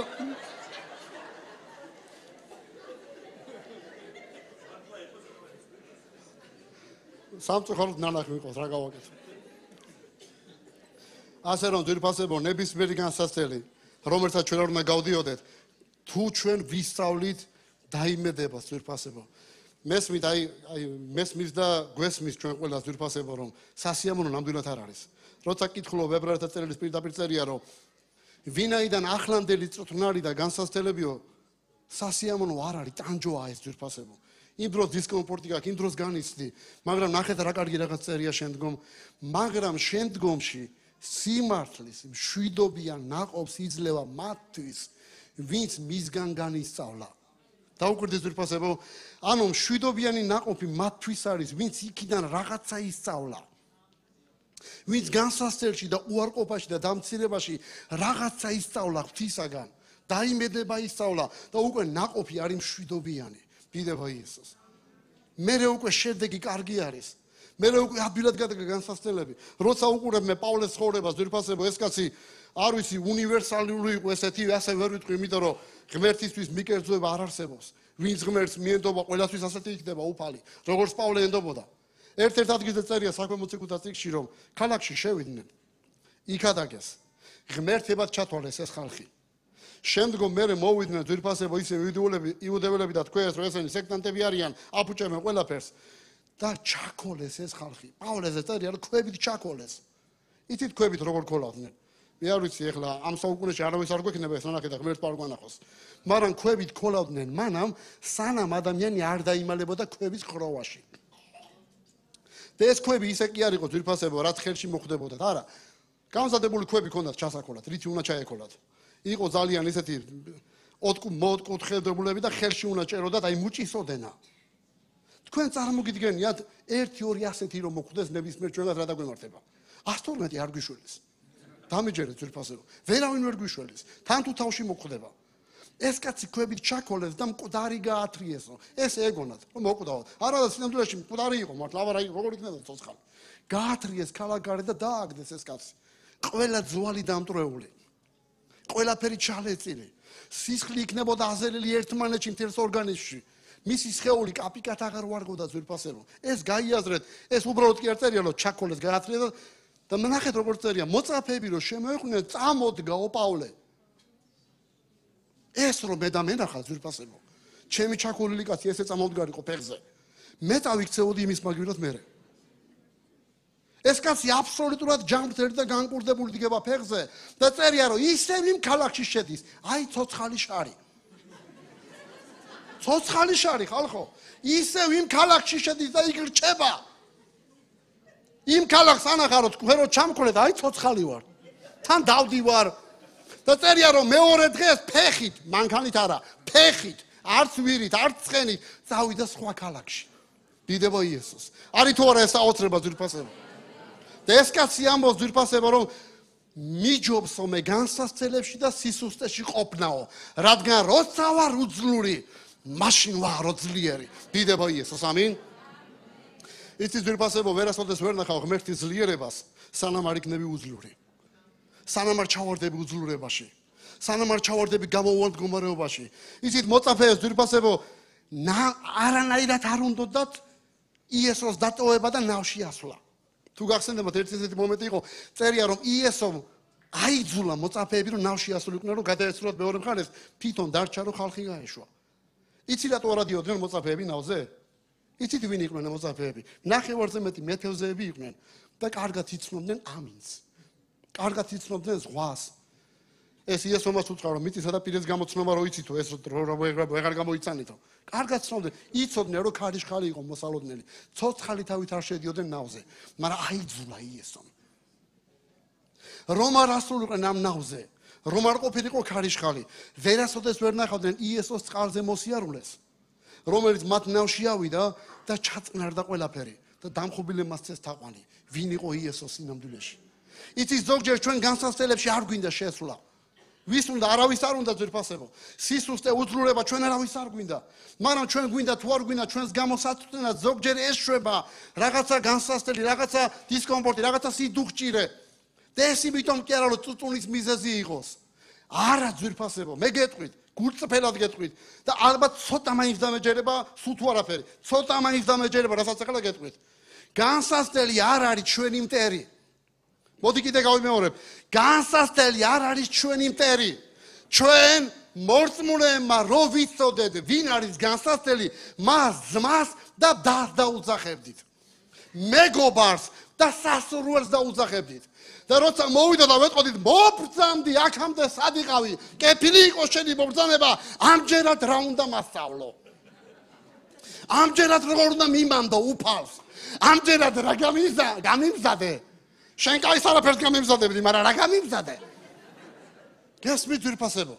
ჩვენ რომ გვესმოდეს და იცით ვირფასებო, ეს ესმოდა იაკობ ძალიან კარგად, როცა ამოდა რომ ყოველგვარ სიხარულად ჩასწვალეთ ძმანო, როდესაც ვარდებით სხვა და სხვა განსასწელში. სხვა და სხვა არ ვიცი როგორ გესმით, მაგრამ მე ესე მესმის ფერად, ფერად განსასწელში. სხვა და სხვა ნაირ-ნაირი, ამოსარჩევად როგორ გეს გინდა თუ ის გინდა. ჩათვალეთ სიხარულად.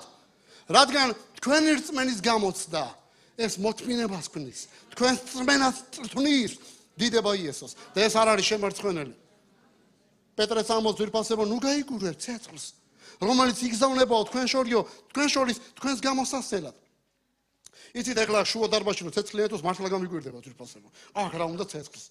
მაგრამ როცა ტყეში ვარ და მცივა და ცეცხლიანია მე იქ ცეცხლი არ გამიგვირდება იმიტომ რომ ის ცეცხლი გასათბობად არის იქ გესმით ვირფასებო იცი როცა განსასწრელი მოდის რაღაცნაირ ისეთ მდგომარეობა შეიძლება გაგვიკვირდეს მაგრამ მორწმუნეს განსასწრელი არ უნდა გაუკვირდეს. ეს შენთვის არის და ჩემთვის არის ეს იმდენად სასიკეთოა რომ ჩვენ ამას ვერ ხვდებით ძვირფასებო და ღმერთმა გვასწავლოს დღევანდელ დღეს და რაღაცაა აგვიხილოს თვალები რომ ვისწავლოთ რომ გამოცდა განსასწრელი წვნა ჩვენთვის არის. დიდება იესოს. ამინ. ვის შეუძლია განსასწრელის გმირულად გადადანა? ვის შეუძლია განსასწრელი დროს გაიღიმოს? ვის შეუძლია განსასწრელი დროს გაიცინოს? მას ვინც იცნობს იესოს მე მინდა წავიკითხო ახლა ძირფასებო ებრაელთა წერილის ეს ძალიან ყველასთვის ნაცნობი მუხლე მე-14 მე-16 მუხლები. მე-4 თავიდან ძირფასებო ყვავს რა დიდი მღვდელმთავარი რომელმაც ზეცა გავნო. იესო ძეხვთისა ტკიცეთ გვეპყრას ჩვენი აღსარება ვინაიდან ისეთი მღვდელმთავარი როდი ყვავს რომ ვერ შეძლოს თანაგრძობა ჩვენს უძლურებაში. ის ჩვენსავით გამოცდილია ყველაფერში გარდაცოდვისა ამიტომ გაბედულად მივიახლოთ მადლის ტახტს რომ მივიღოთ წყალობა და ვიპოვოთ მადლი დროული შემტეობისათვის დიდება იესოს. ჰალელუია. ნახეთ ძირფასებო როცა ესეთი სიტყვები გვესმის ღვთის წერილში მაშასადამე რადგანაც აი ამიტომ აი ამის გამო. იცოდეთ ამას წინ ძირფასებო ბევრი რაღაცა უძღვის წინ აი თუ არა და დამერწმუნებით ეხლა ერთ მაგალითს მოვიყოლ და მიხვდებით მაგალითად სიტყვა თუ რამდენ რამეს ნიშნავს. აი მაგალითად ვიღაცა მოვიდა და გპირდება რომ კოშკები, სახლები, მინდვრები, მამულები, ქონება, საკუთარი თვითფრინავი ყველაფერი შენია და მე აყოლეს თუ. ეს თუ ძვირფასებო ყველაფერს ცulis დამიჯერეთ. ეს თუ წვითავს ყველაფერს. თოდესაც წმინდა წერილში ხვდება ძვირფასებო მაშასადამე რადგანაც ამიტომ ძალიან ბევრ ამას ცulis ძვირფასებო ნახეთ როგორ წერია ძვირფასებო? გაბედულად უნდა მივიდეთ მასთან. რომ პოვოთ მადლი და წყალობა დროული დახმარებისთვის. მაგრამ როცა არაფერი ინფორმაცია არ ვიცი გაბედულად რისთვის მივიდე რატომ მივიდე რა აზრი აქვს მე არ წმენდა მექნება და არაფერი. თუ არ წავიკითხავ წინამუხლებს ძვირფასებო. რის გამოც მე უნდა მივიდე გაბედულად? ნახეთ წინამუხლები როგორ წერია რომ ყავს ისეთი მღვდელთავარი გამოუცდელი კი არა მაპატიეთა მუხეში გამოთქმაზე რომ აი აზრზე რო არ არის საქმის. ასეთი გამოუცდელი კი არა. დამწყები კი არ არის. გამოცდილი არის. ჩვენსავით გაიარა ყველაფერი. ჩვენსავით გამოიცადა ყველაფერში. იცნობს სხეულს იცის ხორცი იცის ადამიანი. იქ წერია ძირფასებო გარდაცოდვისა და ზოგჯერ მორწმუნეს ეშმაკი ატყუებს ხოლმე რომ იესოს ცოდვა არ ჩაუდენია და როგორ უნდა გითანაგრძნოს როცა ცოდვა გაქვს ჩადენილი და გული ჟარდებს ეშმაკი გასამართლებს. იესომ ხო ეს არიცის რამ ძიმია და როგორ არის მას არ შეუწოდას იესომ ხო არიცის რა არის როდესაც შეწოდა და გული დაგიმძინდება. ეს ხო ნაცნობი სიტყვა მორწმუნეებისთვის რომ აი გული დამიმძინდა რაღაცა სიტყვა თქვი და მე გული არ უნდა მეთქვა და თითქოს ეს ნიშანია ხოლმე იმისა რომ არასწორი რაღაცა ვთქვით იესოს ხო გული არასოდეს დამძიმებია იესოს ხო ცუდი სიტყვა არ უთქვია იესოს ხო არაფერი დაუშავებია. რანაირად შეიძლება ეს მოდეს ჩემი? რა იცის რა არის ცოდი სიმძიმე? მე ფიქრობ ძირფასება ამას თუ დასვას ისეთი მორწმუნე ამ შეკითხვას რომელსაც არც სიტყვა არ იცის არც წერილი არ იცის არც იესოს არ იცნობს. ასეთი შეკითხვის დასმა უბრალოდ არ შეიძლება იმიტომ რომ ჩვენ ვიცით იესოზე იდო მთელი ქვეყნიერების სოდვა. მარტო ჩემი და შენი კი არა. მარტო ის კი არა რომ მე გულმა გამასამართლა და არასწორად ავთქვი გეცემანის ბაღში ძვირფასებო ის მსხვერპლს იღებდა და ტილოდა თითოეული ჩვენგანისთვის. გეცემანის ბაღში ის მთელი ქვეყნიერების ცოდვას იღებდა მხრებზე. მე და თქვენ ერთი არასწორი თქმის გამო გული გვიმძინდება მაგრამ იესოზე იდომ კვლელობა ბრუშობა ლოთობა ყოველი გარყვნილება ტყუილი სისწრუე არ ჩაუდენია და მასზე იდო. ეს იცი ამხელა ტვირთია როცა არ ჩაგიდენია და დანაშაულს გაბრალებენ როცა ცილს გწამებენ, არასდროს წაგათრევენ სასამართლოში, შენში ფულს იხდიან როგორმე ციხე მოგისაჯონ და უსამართლოდ გასამართლებენ დიდი ტვირთია. იესოს სოდო არ ჩაუდენია, მაგრამ ყველა სოდვის შედეგი მის მხრებზე იდო.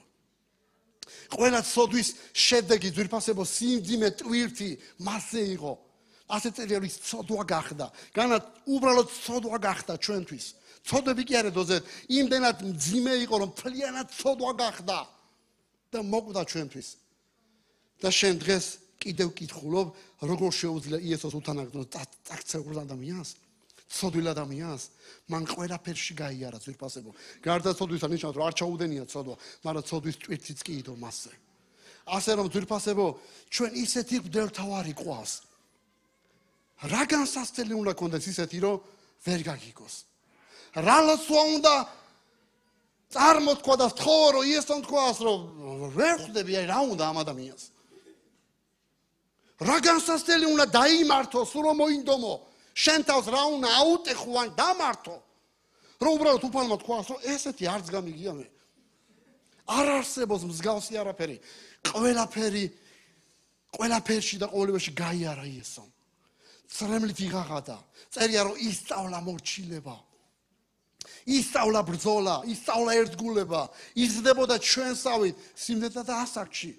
და სხვათა შორის ძვირფასებო, სიცოცხლით სავსე ასაკში ეცვა ჯვარს, 33 წლის ასაკში. ჩვენ ხანდახ ვაიმე როგორი ახალგაზრდა წაიყვანა ღმერთმა. იესოსი ახალგაზრდა იყო? შეიძლება გულდასაწყვეტი იყოს, მაგრამ შეეძლო იესო 60 წლის ასაკში მოკვდარიყო 80 წლის კარგი ნაცხოვრები. მაგრამ იესო მოკვდა სიცოცხლით სავსე ასაკში, 33 წლის ძვირფასებო. და მან ესეც გაიარა. ყველაფერი გაიარა ძირფასებო, რომ შენ გითანაგრძოს. დიდება იესოს, განუგეშოს. ასე რომ როცა იცი, ვინ არის შენი უფალი, გაბედულად მიდიხარ მის ტახთან. დიდება იესოს. არ მოდიხარ მორიდებული, აქ იყო კარგად ნათქვამი ძვირფასე მამაგალითს მოყვანას მეც ვაპირებდი მაგრამ წელს მომიყვანა სახში როცა მიდიხარ მე არასოდეს არ მახსოვ ჩემ შვილს ეთქვას мама დედა სახელით აქ თქო გააღემაცივარი ესეთი რამე ჯერ არ მახსოვთ ეთქვათ შეიძლება მე მithქვი მე მithხოვია რომ შეიძლება ეს ავიღო და ვჭამო ვინმე ხო არ არის მაგრამ იმათ არასოდეს არ უკითხიათ ეს გესმი ძვირფასე როცა იცი ვინ არის შენი мама და როცა იცი ვინ არის შენი უფალი რომის შუა მავალია შენსა და მამას შორის გაბედულება გემატება. დიდება იესოს. იცით სად არის იესო? მამის მარჯვნივ. იქვე ახლოს. ამაზე ახლოს შეუძლებელია ვინმე იყოს მამასთან, როგორც იესოა. იმაზე ახლოს რაც იესო თქო რომ მე და мама ერთი ვართ, შეუძლებელია ვინმე იყოს მამასთან. და ბიბლია ამბობს რომ არ არსებობს ძვირფასებოს სხვა სახელი, რომლითაც ჩვენ გადავრჩებით იესოს გარდა. და თავად იესო თქვა მე ვარ გზა, ჭეშმარიტება და სიცოცხლე, მამასთან ვერავინ მივა, ანუ ვერავინ ვერ ეღირსება მასთან მისვლას, თუ არა ჩემით. არავის არც ერთ სახელს, როგორიც მინდანიც არ უნდა იყოს, როგორი გაბწყინებული, როგორი გასპეტაკებულიც არ უნდა იყოს, ვერავინ ვერასოდეს ვინმე სახელით ვერ მივა მამასთან. ვერასოდეს, რამდენი საუკუნეც არ უნდა გავიდეს, არ გამოჩნდება ვინმე, ვისი სახელითაც თქვათ, რომ თურმე კიდე გამოჩნდა დღეს ვიღაცა და მოდი ახლა ამის სახელით მივიდეთ. არ გამოჩნდება მსგავსი არასდროს. იესო ერთადერთი და ის იქნება უკუნითი უკუნისამდე. ამიტომ, ამიტომ ძვირფასებო ჩვენ ყავს ასეთი ძვირფასი გვდევთავარი, რომლის სახელითაც შეგვიძლია მივიდეთ მამასთან. ჩვენ სამწუხაროდ ესე პირდაპირ ვერ გამოვეცხადებით მამას, იმიტომ რომ ის ძალიან წმინდა საამისო ძვირფასებო. ამიტომ გვჭირდება კრავის სისხლი. ამიტომ გვჭირდება იესოს სახელი. და იესო ასე უთხრა მოწაფეებს: აქამდე არაფერი გითხოვიათ ჩემი სახელით. ეხლა ითხოვეთ. და რასაც ითხოვთ, მიიღეთ. დიდება იესოს. რასაც ითხოვთ, მიიღეთ. იმიტომ რომ მამას უყარავ მე და თქვენ შეგიყვარათ, იმიტომ რომ მე შემიყვარეთ. აწი უყარვართ მამას, იმიტომ რომ გიყვარს იესო. აწი როცა მივდივართ მასთან და მომდეთ, მამაო, იესოს სახელით. უფალი გვიყურებს, როგორც უყურებს იესოს. და უფალი გვისმენს, როგორც უსმენს იესოს.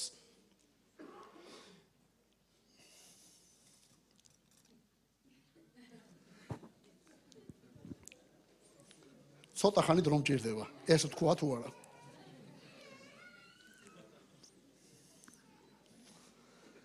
ხო. ჰალელუია. არც ერთი ლოცვა არ იქნება შესმენელი ჩვენი. რომელ ლოცვასაც იესო არ დაუდასტურებს მამას.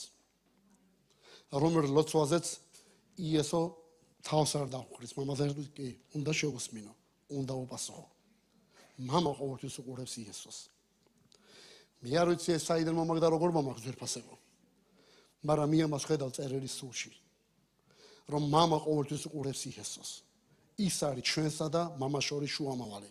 რასაც იესო გადაწყვიტავს, იმას მოგცემს мама.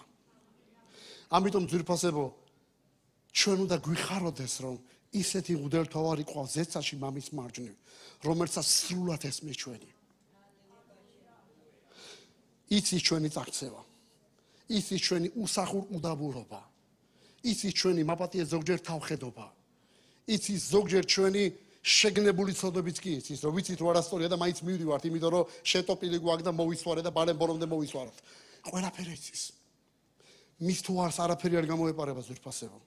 ამიტომ ასეთი მღვდელთავარის წინაშე ასეთი მღვდელთავრის მეშობით მამასთან მისვლა ყველაზე საუკეთესოა, ყველაზე კარგია, ყველაზე ტკბილია და ყველაზე გამოსადეგარია და ყველაზე ნაყოფიერია. დიდება იესოს. დიდება იესოს რომ ასეთი მღვდელთავარი ყავს ზეცაში.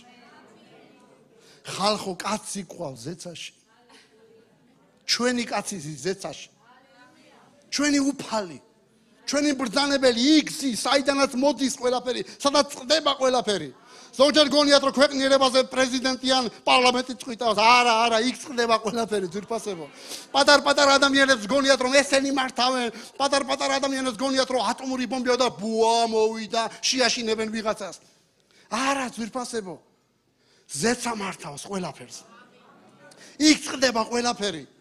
უხილარ სამყაროში წდება ყველაფერი, იქ არის ომიც, იქ არის მშვიდობაც, იქ წდება ყველაფერი, რა უნდა იყოს მიწაზე. ამიტომ ეს ჩვენ პატარ-პატარ ადამიანებს, რომელსაც ბიბლია კაცუნებს გვეძახის, ძირფასებო, კაცუნიები ვარ ჩვენ. არაფერს არ წვითავთ აქ. ის არის ყოვლადწლიერი და ჩვენი უფალი, ჩვენი მოყვარული იგზის. ძალაუფლების უმაღლეს ტახტზე. სადაც წდება ჩვენი ასე თქვა თუნდაც ასე დაარქვით ბედიღბალი. ჩვენი მომავალი და ჩვენი ძვირფასებო ყველაფერი რაც წინ უნდა იყოს, იქ წდება ყველაფერი. ამიტომ ჩვენ იქ ყავს კაცი.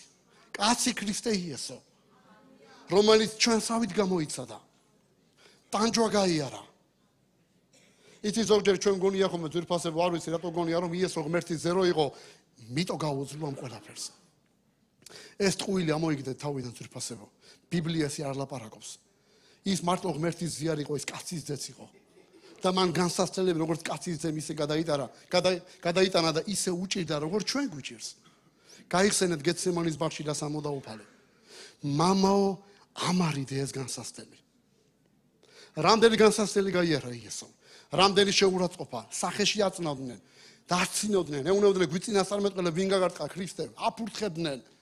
გაროზგეს გაშორტეს.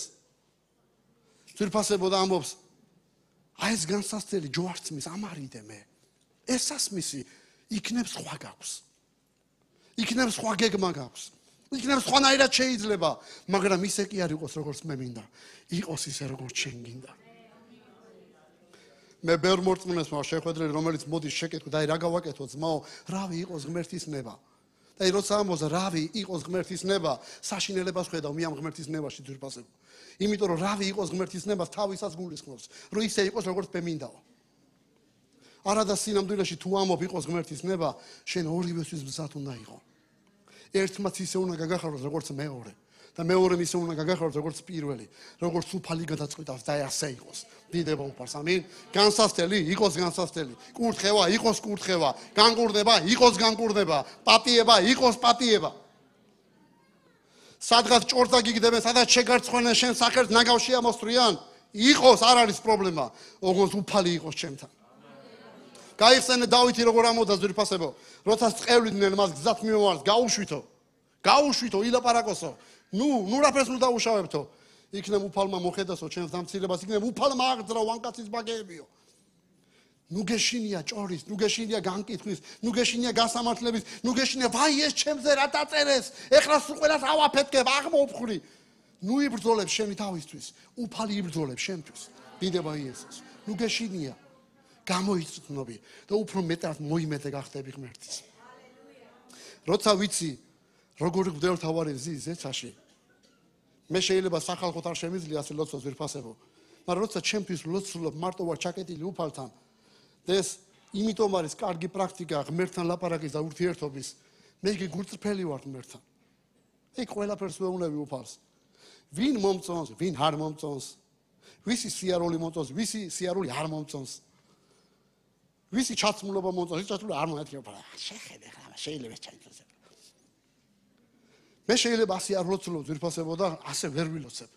მაგრამ გურწრფელი უნდა იყო აბსოლუტურად უფლის წინაშე. ნუ გეშინია ღმერთ კომპლექსები არ აწუხებს, რომ ეს რანერი ლოცვით ლოცულობს ახლა ეს. შეეფერება ახლა ეს მორწმუნეს იესო. მოусმინოთ ამას ახლა. აი. არა ძირფასებო. გურწრფელი იყავი. გურწრფელი იყავი. ნუ გეშინია. შეიძლება რაღაც საოცრება თქო, მაგრამ ნუ გეშინია, მე კი არ დაგეცემა თავზე.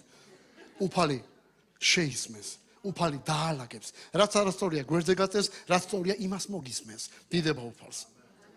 წეგანაკ ძალიან კარგი სიტყვა იყო ნათქვამი და რამდენი ლოცვა არის ძირფასებ რომელიც მომენტალურად გვიპასუხა ღმერთმა და მე ვიტყოდი კიდე რამდენი ლოცვა არც კი გვილოცია ისე მოგცა ღმერთმა რაღაც რამდენი რამეა რომელსაც შენ შვილს ყიდულობ რომელიც თუ არ გთხოვს ამას? აუცილებელია რომ შვილი მოძიეთებს და დედა არა რა დამეყეს პერსაცმელებია წყალიშებდი ისე.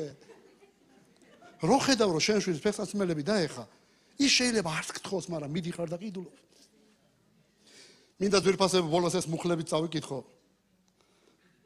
ეს არის მათეს სახარების მე-6 თავის 31-34 მუხლები. მე ძალიან მიყვარს ეს ადგილი მას ნუ დარდობ და ნუ ამბობ რა ვჭამოთ ან რა ვსვათ ან რიჩევი მოსოთ რადგან ყოველივე ამას წარმართნიეძებენ ვინაიდან იცის თქვენმა ზეციერმა მამამ რომ გჭირდებათ ეს ყოველივე.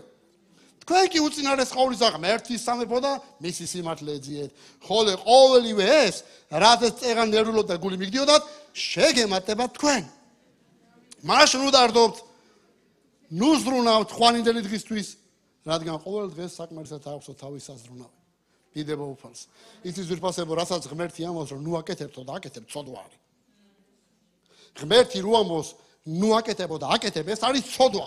კიდე გავიმეორებ. ღმერთი რო ამბობს ამას ნუ აკეთებ და შენ მაინც აკეთებ ეს არის ცოდვა ღმერთი რო ამბობს არ მოკლა და მოკლა ცოდვა ღმერთი რო ამბობს არ იმრუშო და მრუშო ცოდვა და როცა ღმერთი ამბობს არ იზრუნო და ზრუნო გეკითხებით რა არის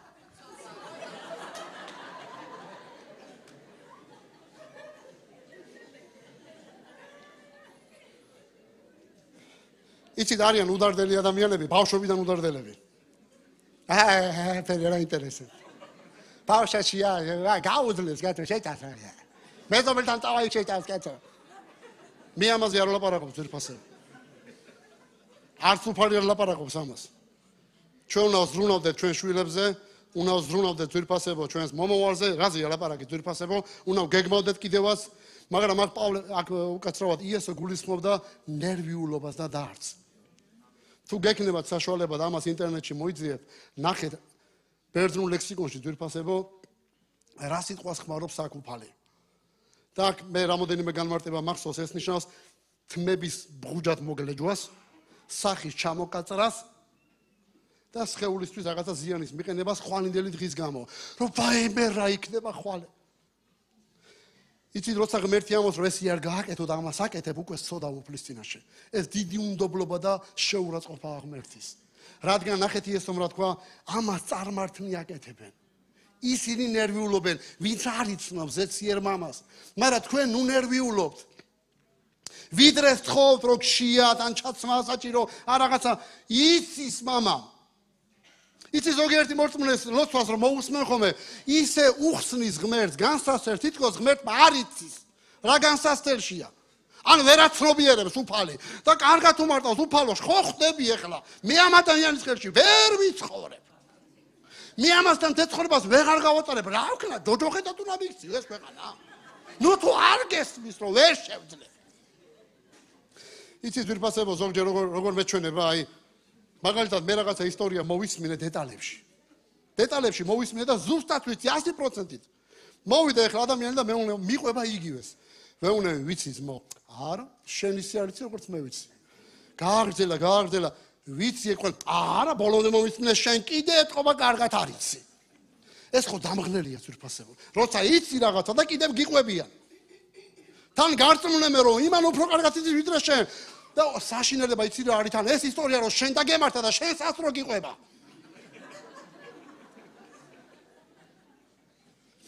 ზოგჯერ ღმერთთან ესე გამოდივარ ჩვენ თვითფასებო საათნახევარი უხსნით სახლი როგორ გჭირდება საათნახევარი უხსნით აი წყალი როგორ შეგვდის ტუფლებში ფექსაცმელებში საათნახევარი უხსნით როგორ გჭირდება რომ განვითარდე და წინ წავიდეთ мама მიცის ეს ყველაფერი დაწნარდით იესამ თქვა დაწნარდეთ ძვირფასებო. არა, საჭირო ბევრი სიტყვები ამ საქმეში.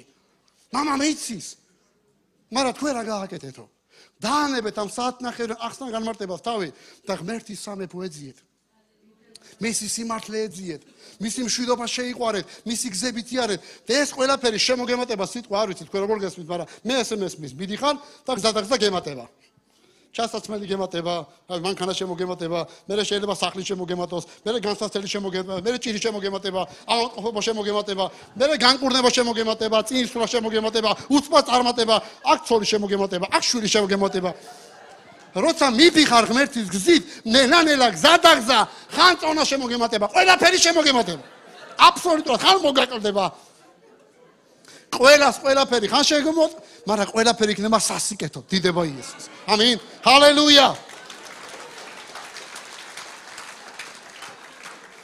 ჰალელუია.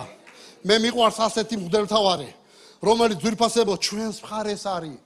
იცი როგორ არის, როცა ვიღაცა სადღაც მიდის მოსალაპარაკებლად და ის შენს მხარეს არ არის და ნეიტრალური უჭირავს და შენს მხარეს არ არის, სადღაც გულში გეშინია, რომ ეს ნეტა თუ დამიჭერს ახლა მხარს. მაგრამ იესო ჩვენს მხარეს არის ძვირფასებო. ის ყველაფერს აკეთებს, რომ ჩვენს მხარეს იყოს. და რომ ის მოკვდა ჩვენთვის, დიდება იესოს. ჩვენ ვართ მისი სხეული და უფრო მეტი ძვირფასებო, როგორც ის ნება იესოს. და როგორც წერია უფალი ზრუნავსო და იცავსო თავის ეკლესიას. დიდება უფალს, ამინ. ასე რომ ძვირფასებო, ჩვენ საიმედო უფლის ხელში ვართ. საიმედო მდელთავის ხელში ყავთ. აი ამ ყველაფრის გამო გაბედულად მიდი მასთან.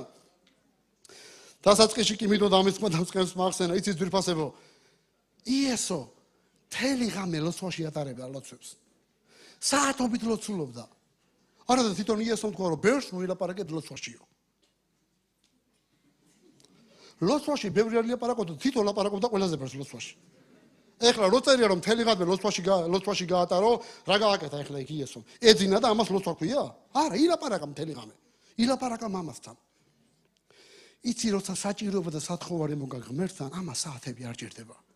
კონკრეტულად მოკლედ შემოიფარგლე და უთხარი ღმერთმა იცის. უბრალოდ იმიტომ უთხარი, რომ ღმერთს უნდა რომ შენგან ეს მოისმინოს.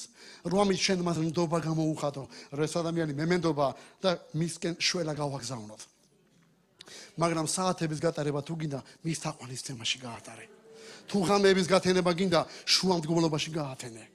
თუ ღამების გათენება გინდა მუხლებზე ერისა და ქვეყნის გამოიდექი რომ ღმერთმა ეს ქვეყანა შეიწყალოს. და იესო ამას აკეთებდა ძირფასებო ის ღებულობდა ხედავს მამისგან დაფიგებას. მომდენო დღისთვის რა უნდა გაეკეთებინა? და თუ ამისთვის ლოცულობ კი ბატონო გაატარე საათები ღმერთთან. დიდება იესოს. მაგრამ სათხოვრებში საჭიროების მიტანაში რომელიც ღმერთ ისედაც იცის. აღარ გინდა ამდენი ტანჯვა და წამება რატო იტანჯები? იცის ღმერთმა შენ უბრალოდ გააგრძელე მისი საქმის კეთება და ეს ყველაფერი შემოგებადება შენ უამრავი რამე მოვა. შენ ცხოვრებაში რომელიც ჯერ არ კი გითხოვია და ეს უამრავი რამე სკურთხევები იქნება როცა შენ ეძებ ღმერთის სამეფოს.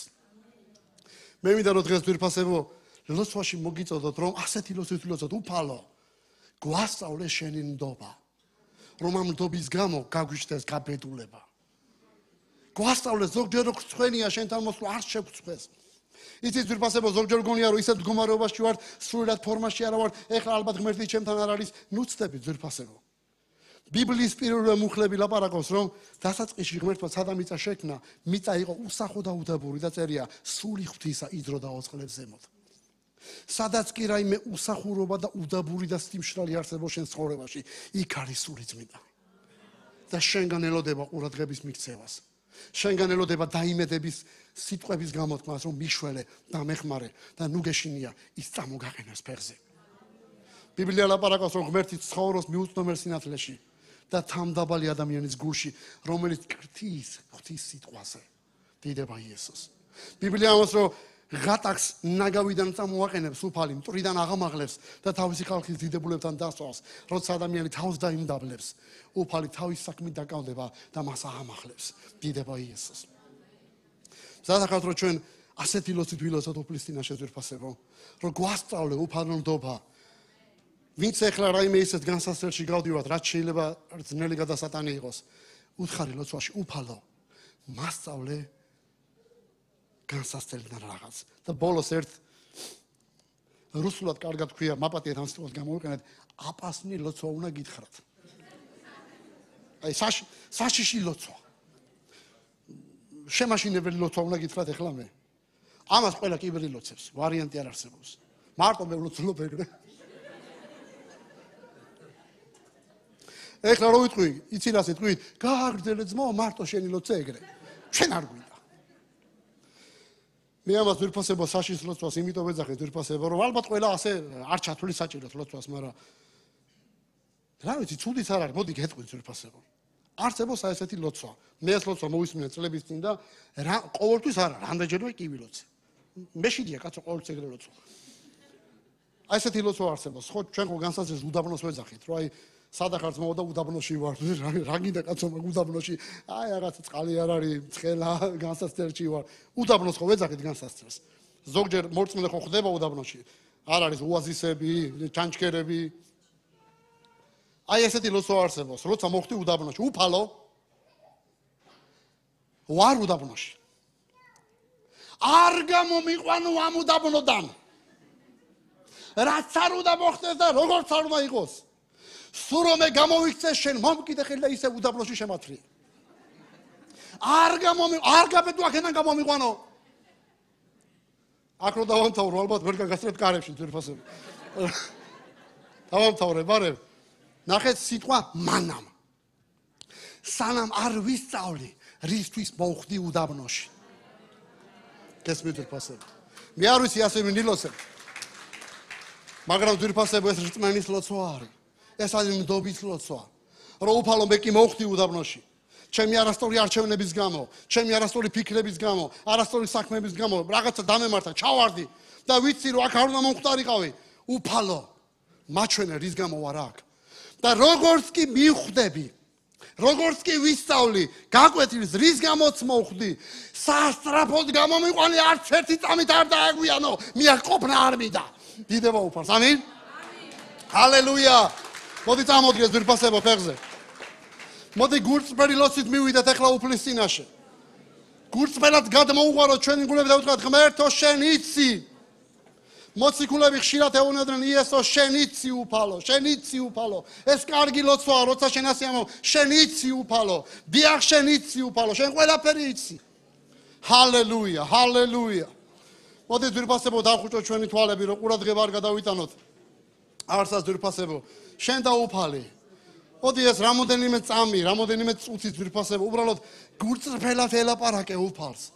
გურწრფელად გადამოღვარე შენი სურვილი და უთხარ უფალო, ხედავ ჩემ მდგომარეობას, ხედავ როგორ მიჭირს.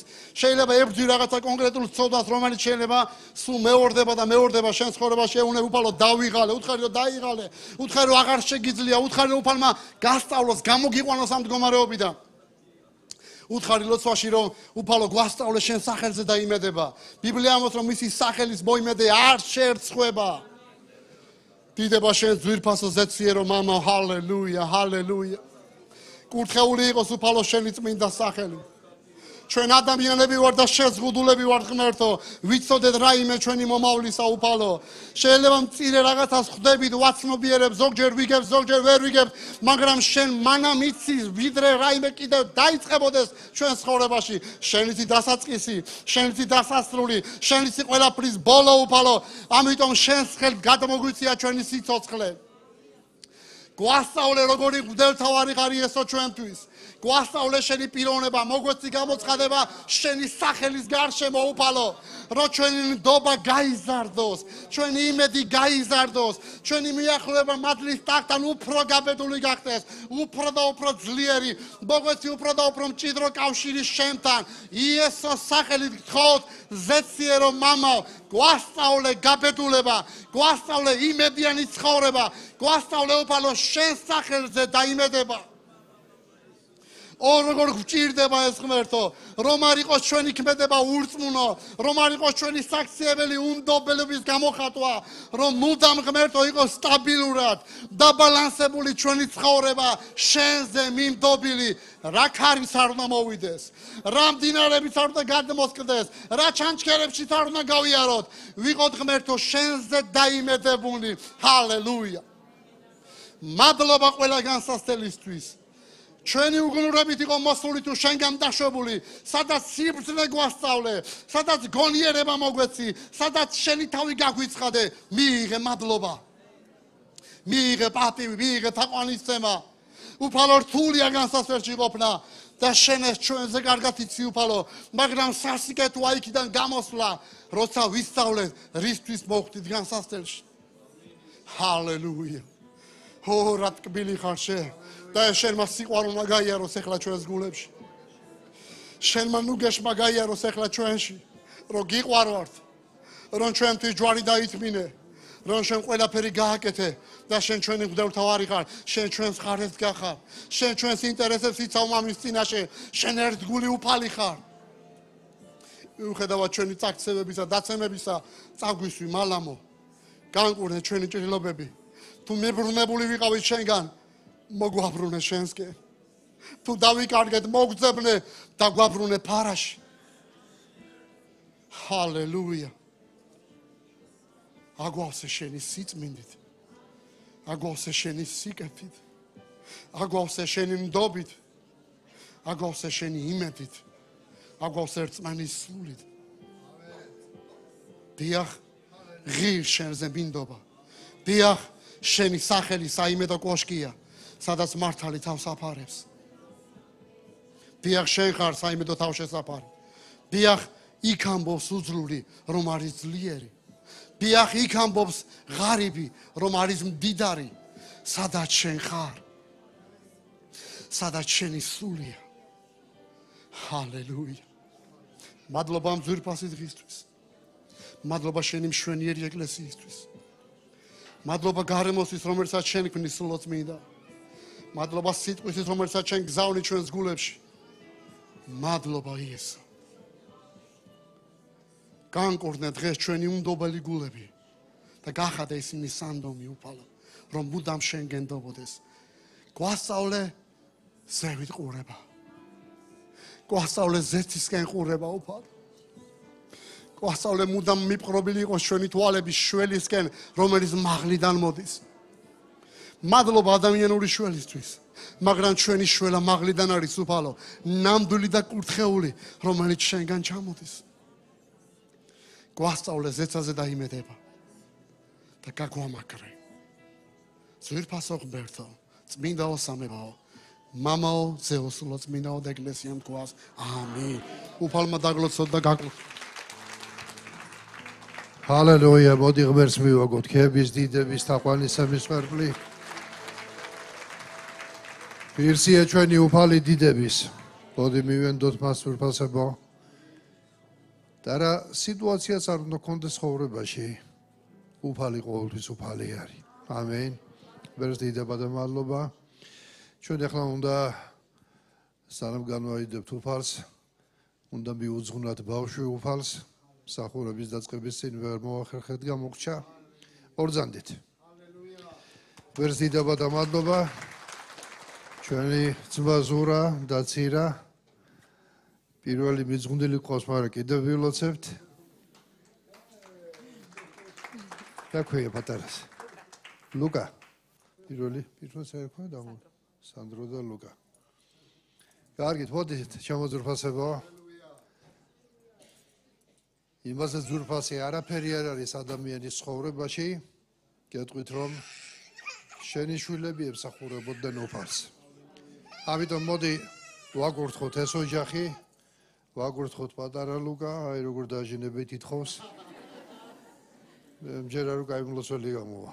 სანამ არ მიიღებს არ მოგეშვება.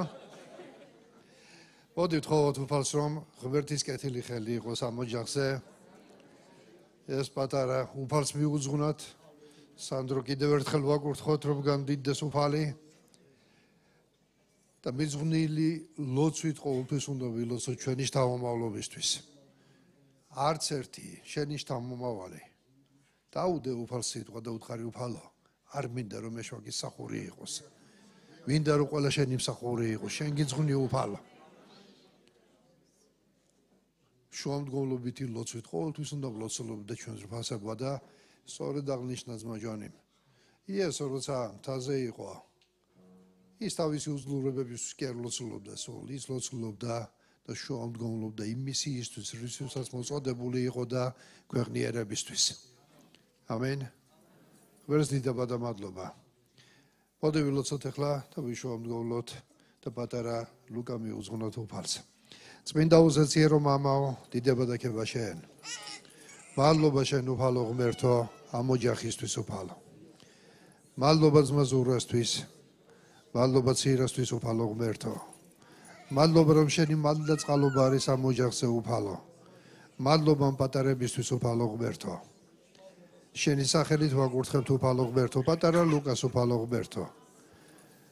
გთხოვზე ცირო მამაო შენი კეთილი ხელი იყოს მასზე. შენი წყალობა და მადლი იყოს მასზე. შენ გიძღვნით მას უფალო ღმერთო რომ აქედანვე ღმერთო იდებულო შენს დიდებულ სულში და მადლში იყოს აღზრდილი და განდიდებული იყოს შენი სახელი უფალო ღმერთო. შენ გიძღვნით უფალო? პატარა ლუკას და შენი სახელით ვაგურთხებ მას და შენი დიდება და შენი მადლი მოვიდეს მასზე იესო ქრისტეს სახელით. ჰალელუია. ასევე უფალო ვაგურთხებ სანდროს უფალო ღმერთო შენი კეთილი ხელი იყოს მთელ ოჯახზე ღმერთო და შენ წარმართო უფალო მათი გზები. მიიღი ქებაიდო ყველაფრისთვის წმინდაო ღმერთო წმინდაო სამებაო მამაო ძეოსულო წმინდაო. ამინ. იყავით ქრისტიანული. შეცელქოშენა უფალს დიდობა და მადლობა. ერთი საგალობლით ახლა თაყვანივცეთ უფალს. და შემდეგ გუნდმა უნდა რეპეტიცია გაიაროს ამ პარასკევს და შაბათს პროფესორ შაბათ კვირას. აჭარაში დევიდ ხეთები იქნება იქ იქნება დიდი מחარებლური ასეთი ღონისძიება სადაც გარკვეული ჩვენი ეკლესიის ნაწილის ღებულოს მონაწილეობას და გუნდიც. ამიტომ მაჭირდებათ რეპეტიცია და როგორც კი დამთავრდება კრება ცოტა სწრაფად დავტოვოთ დარბაზი გარეთ შეიძლება კონდეს მოზიარეობა რომ დავუტოვოთ მას დრო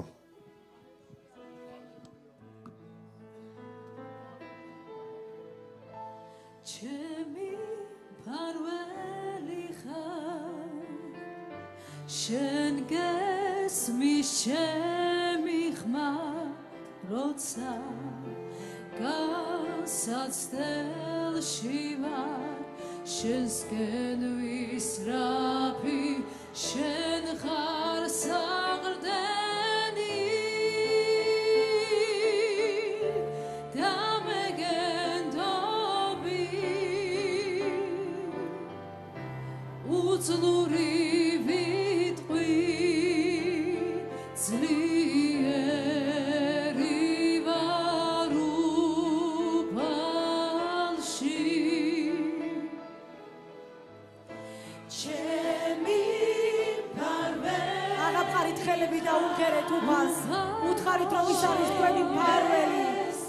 მას ესმის ყოველთვის ჩვენი ღაღადი და ჩვენი ხმა როცა განსაცდელში ვარ შენსკენ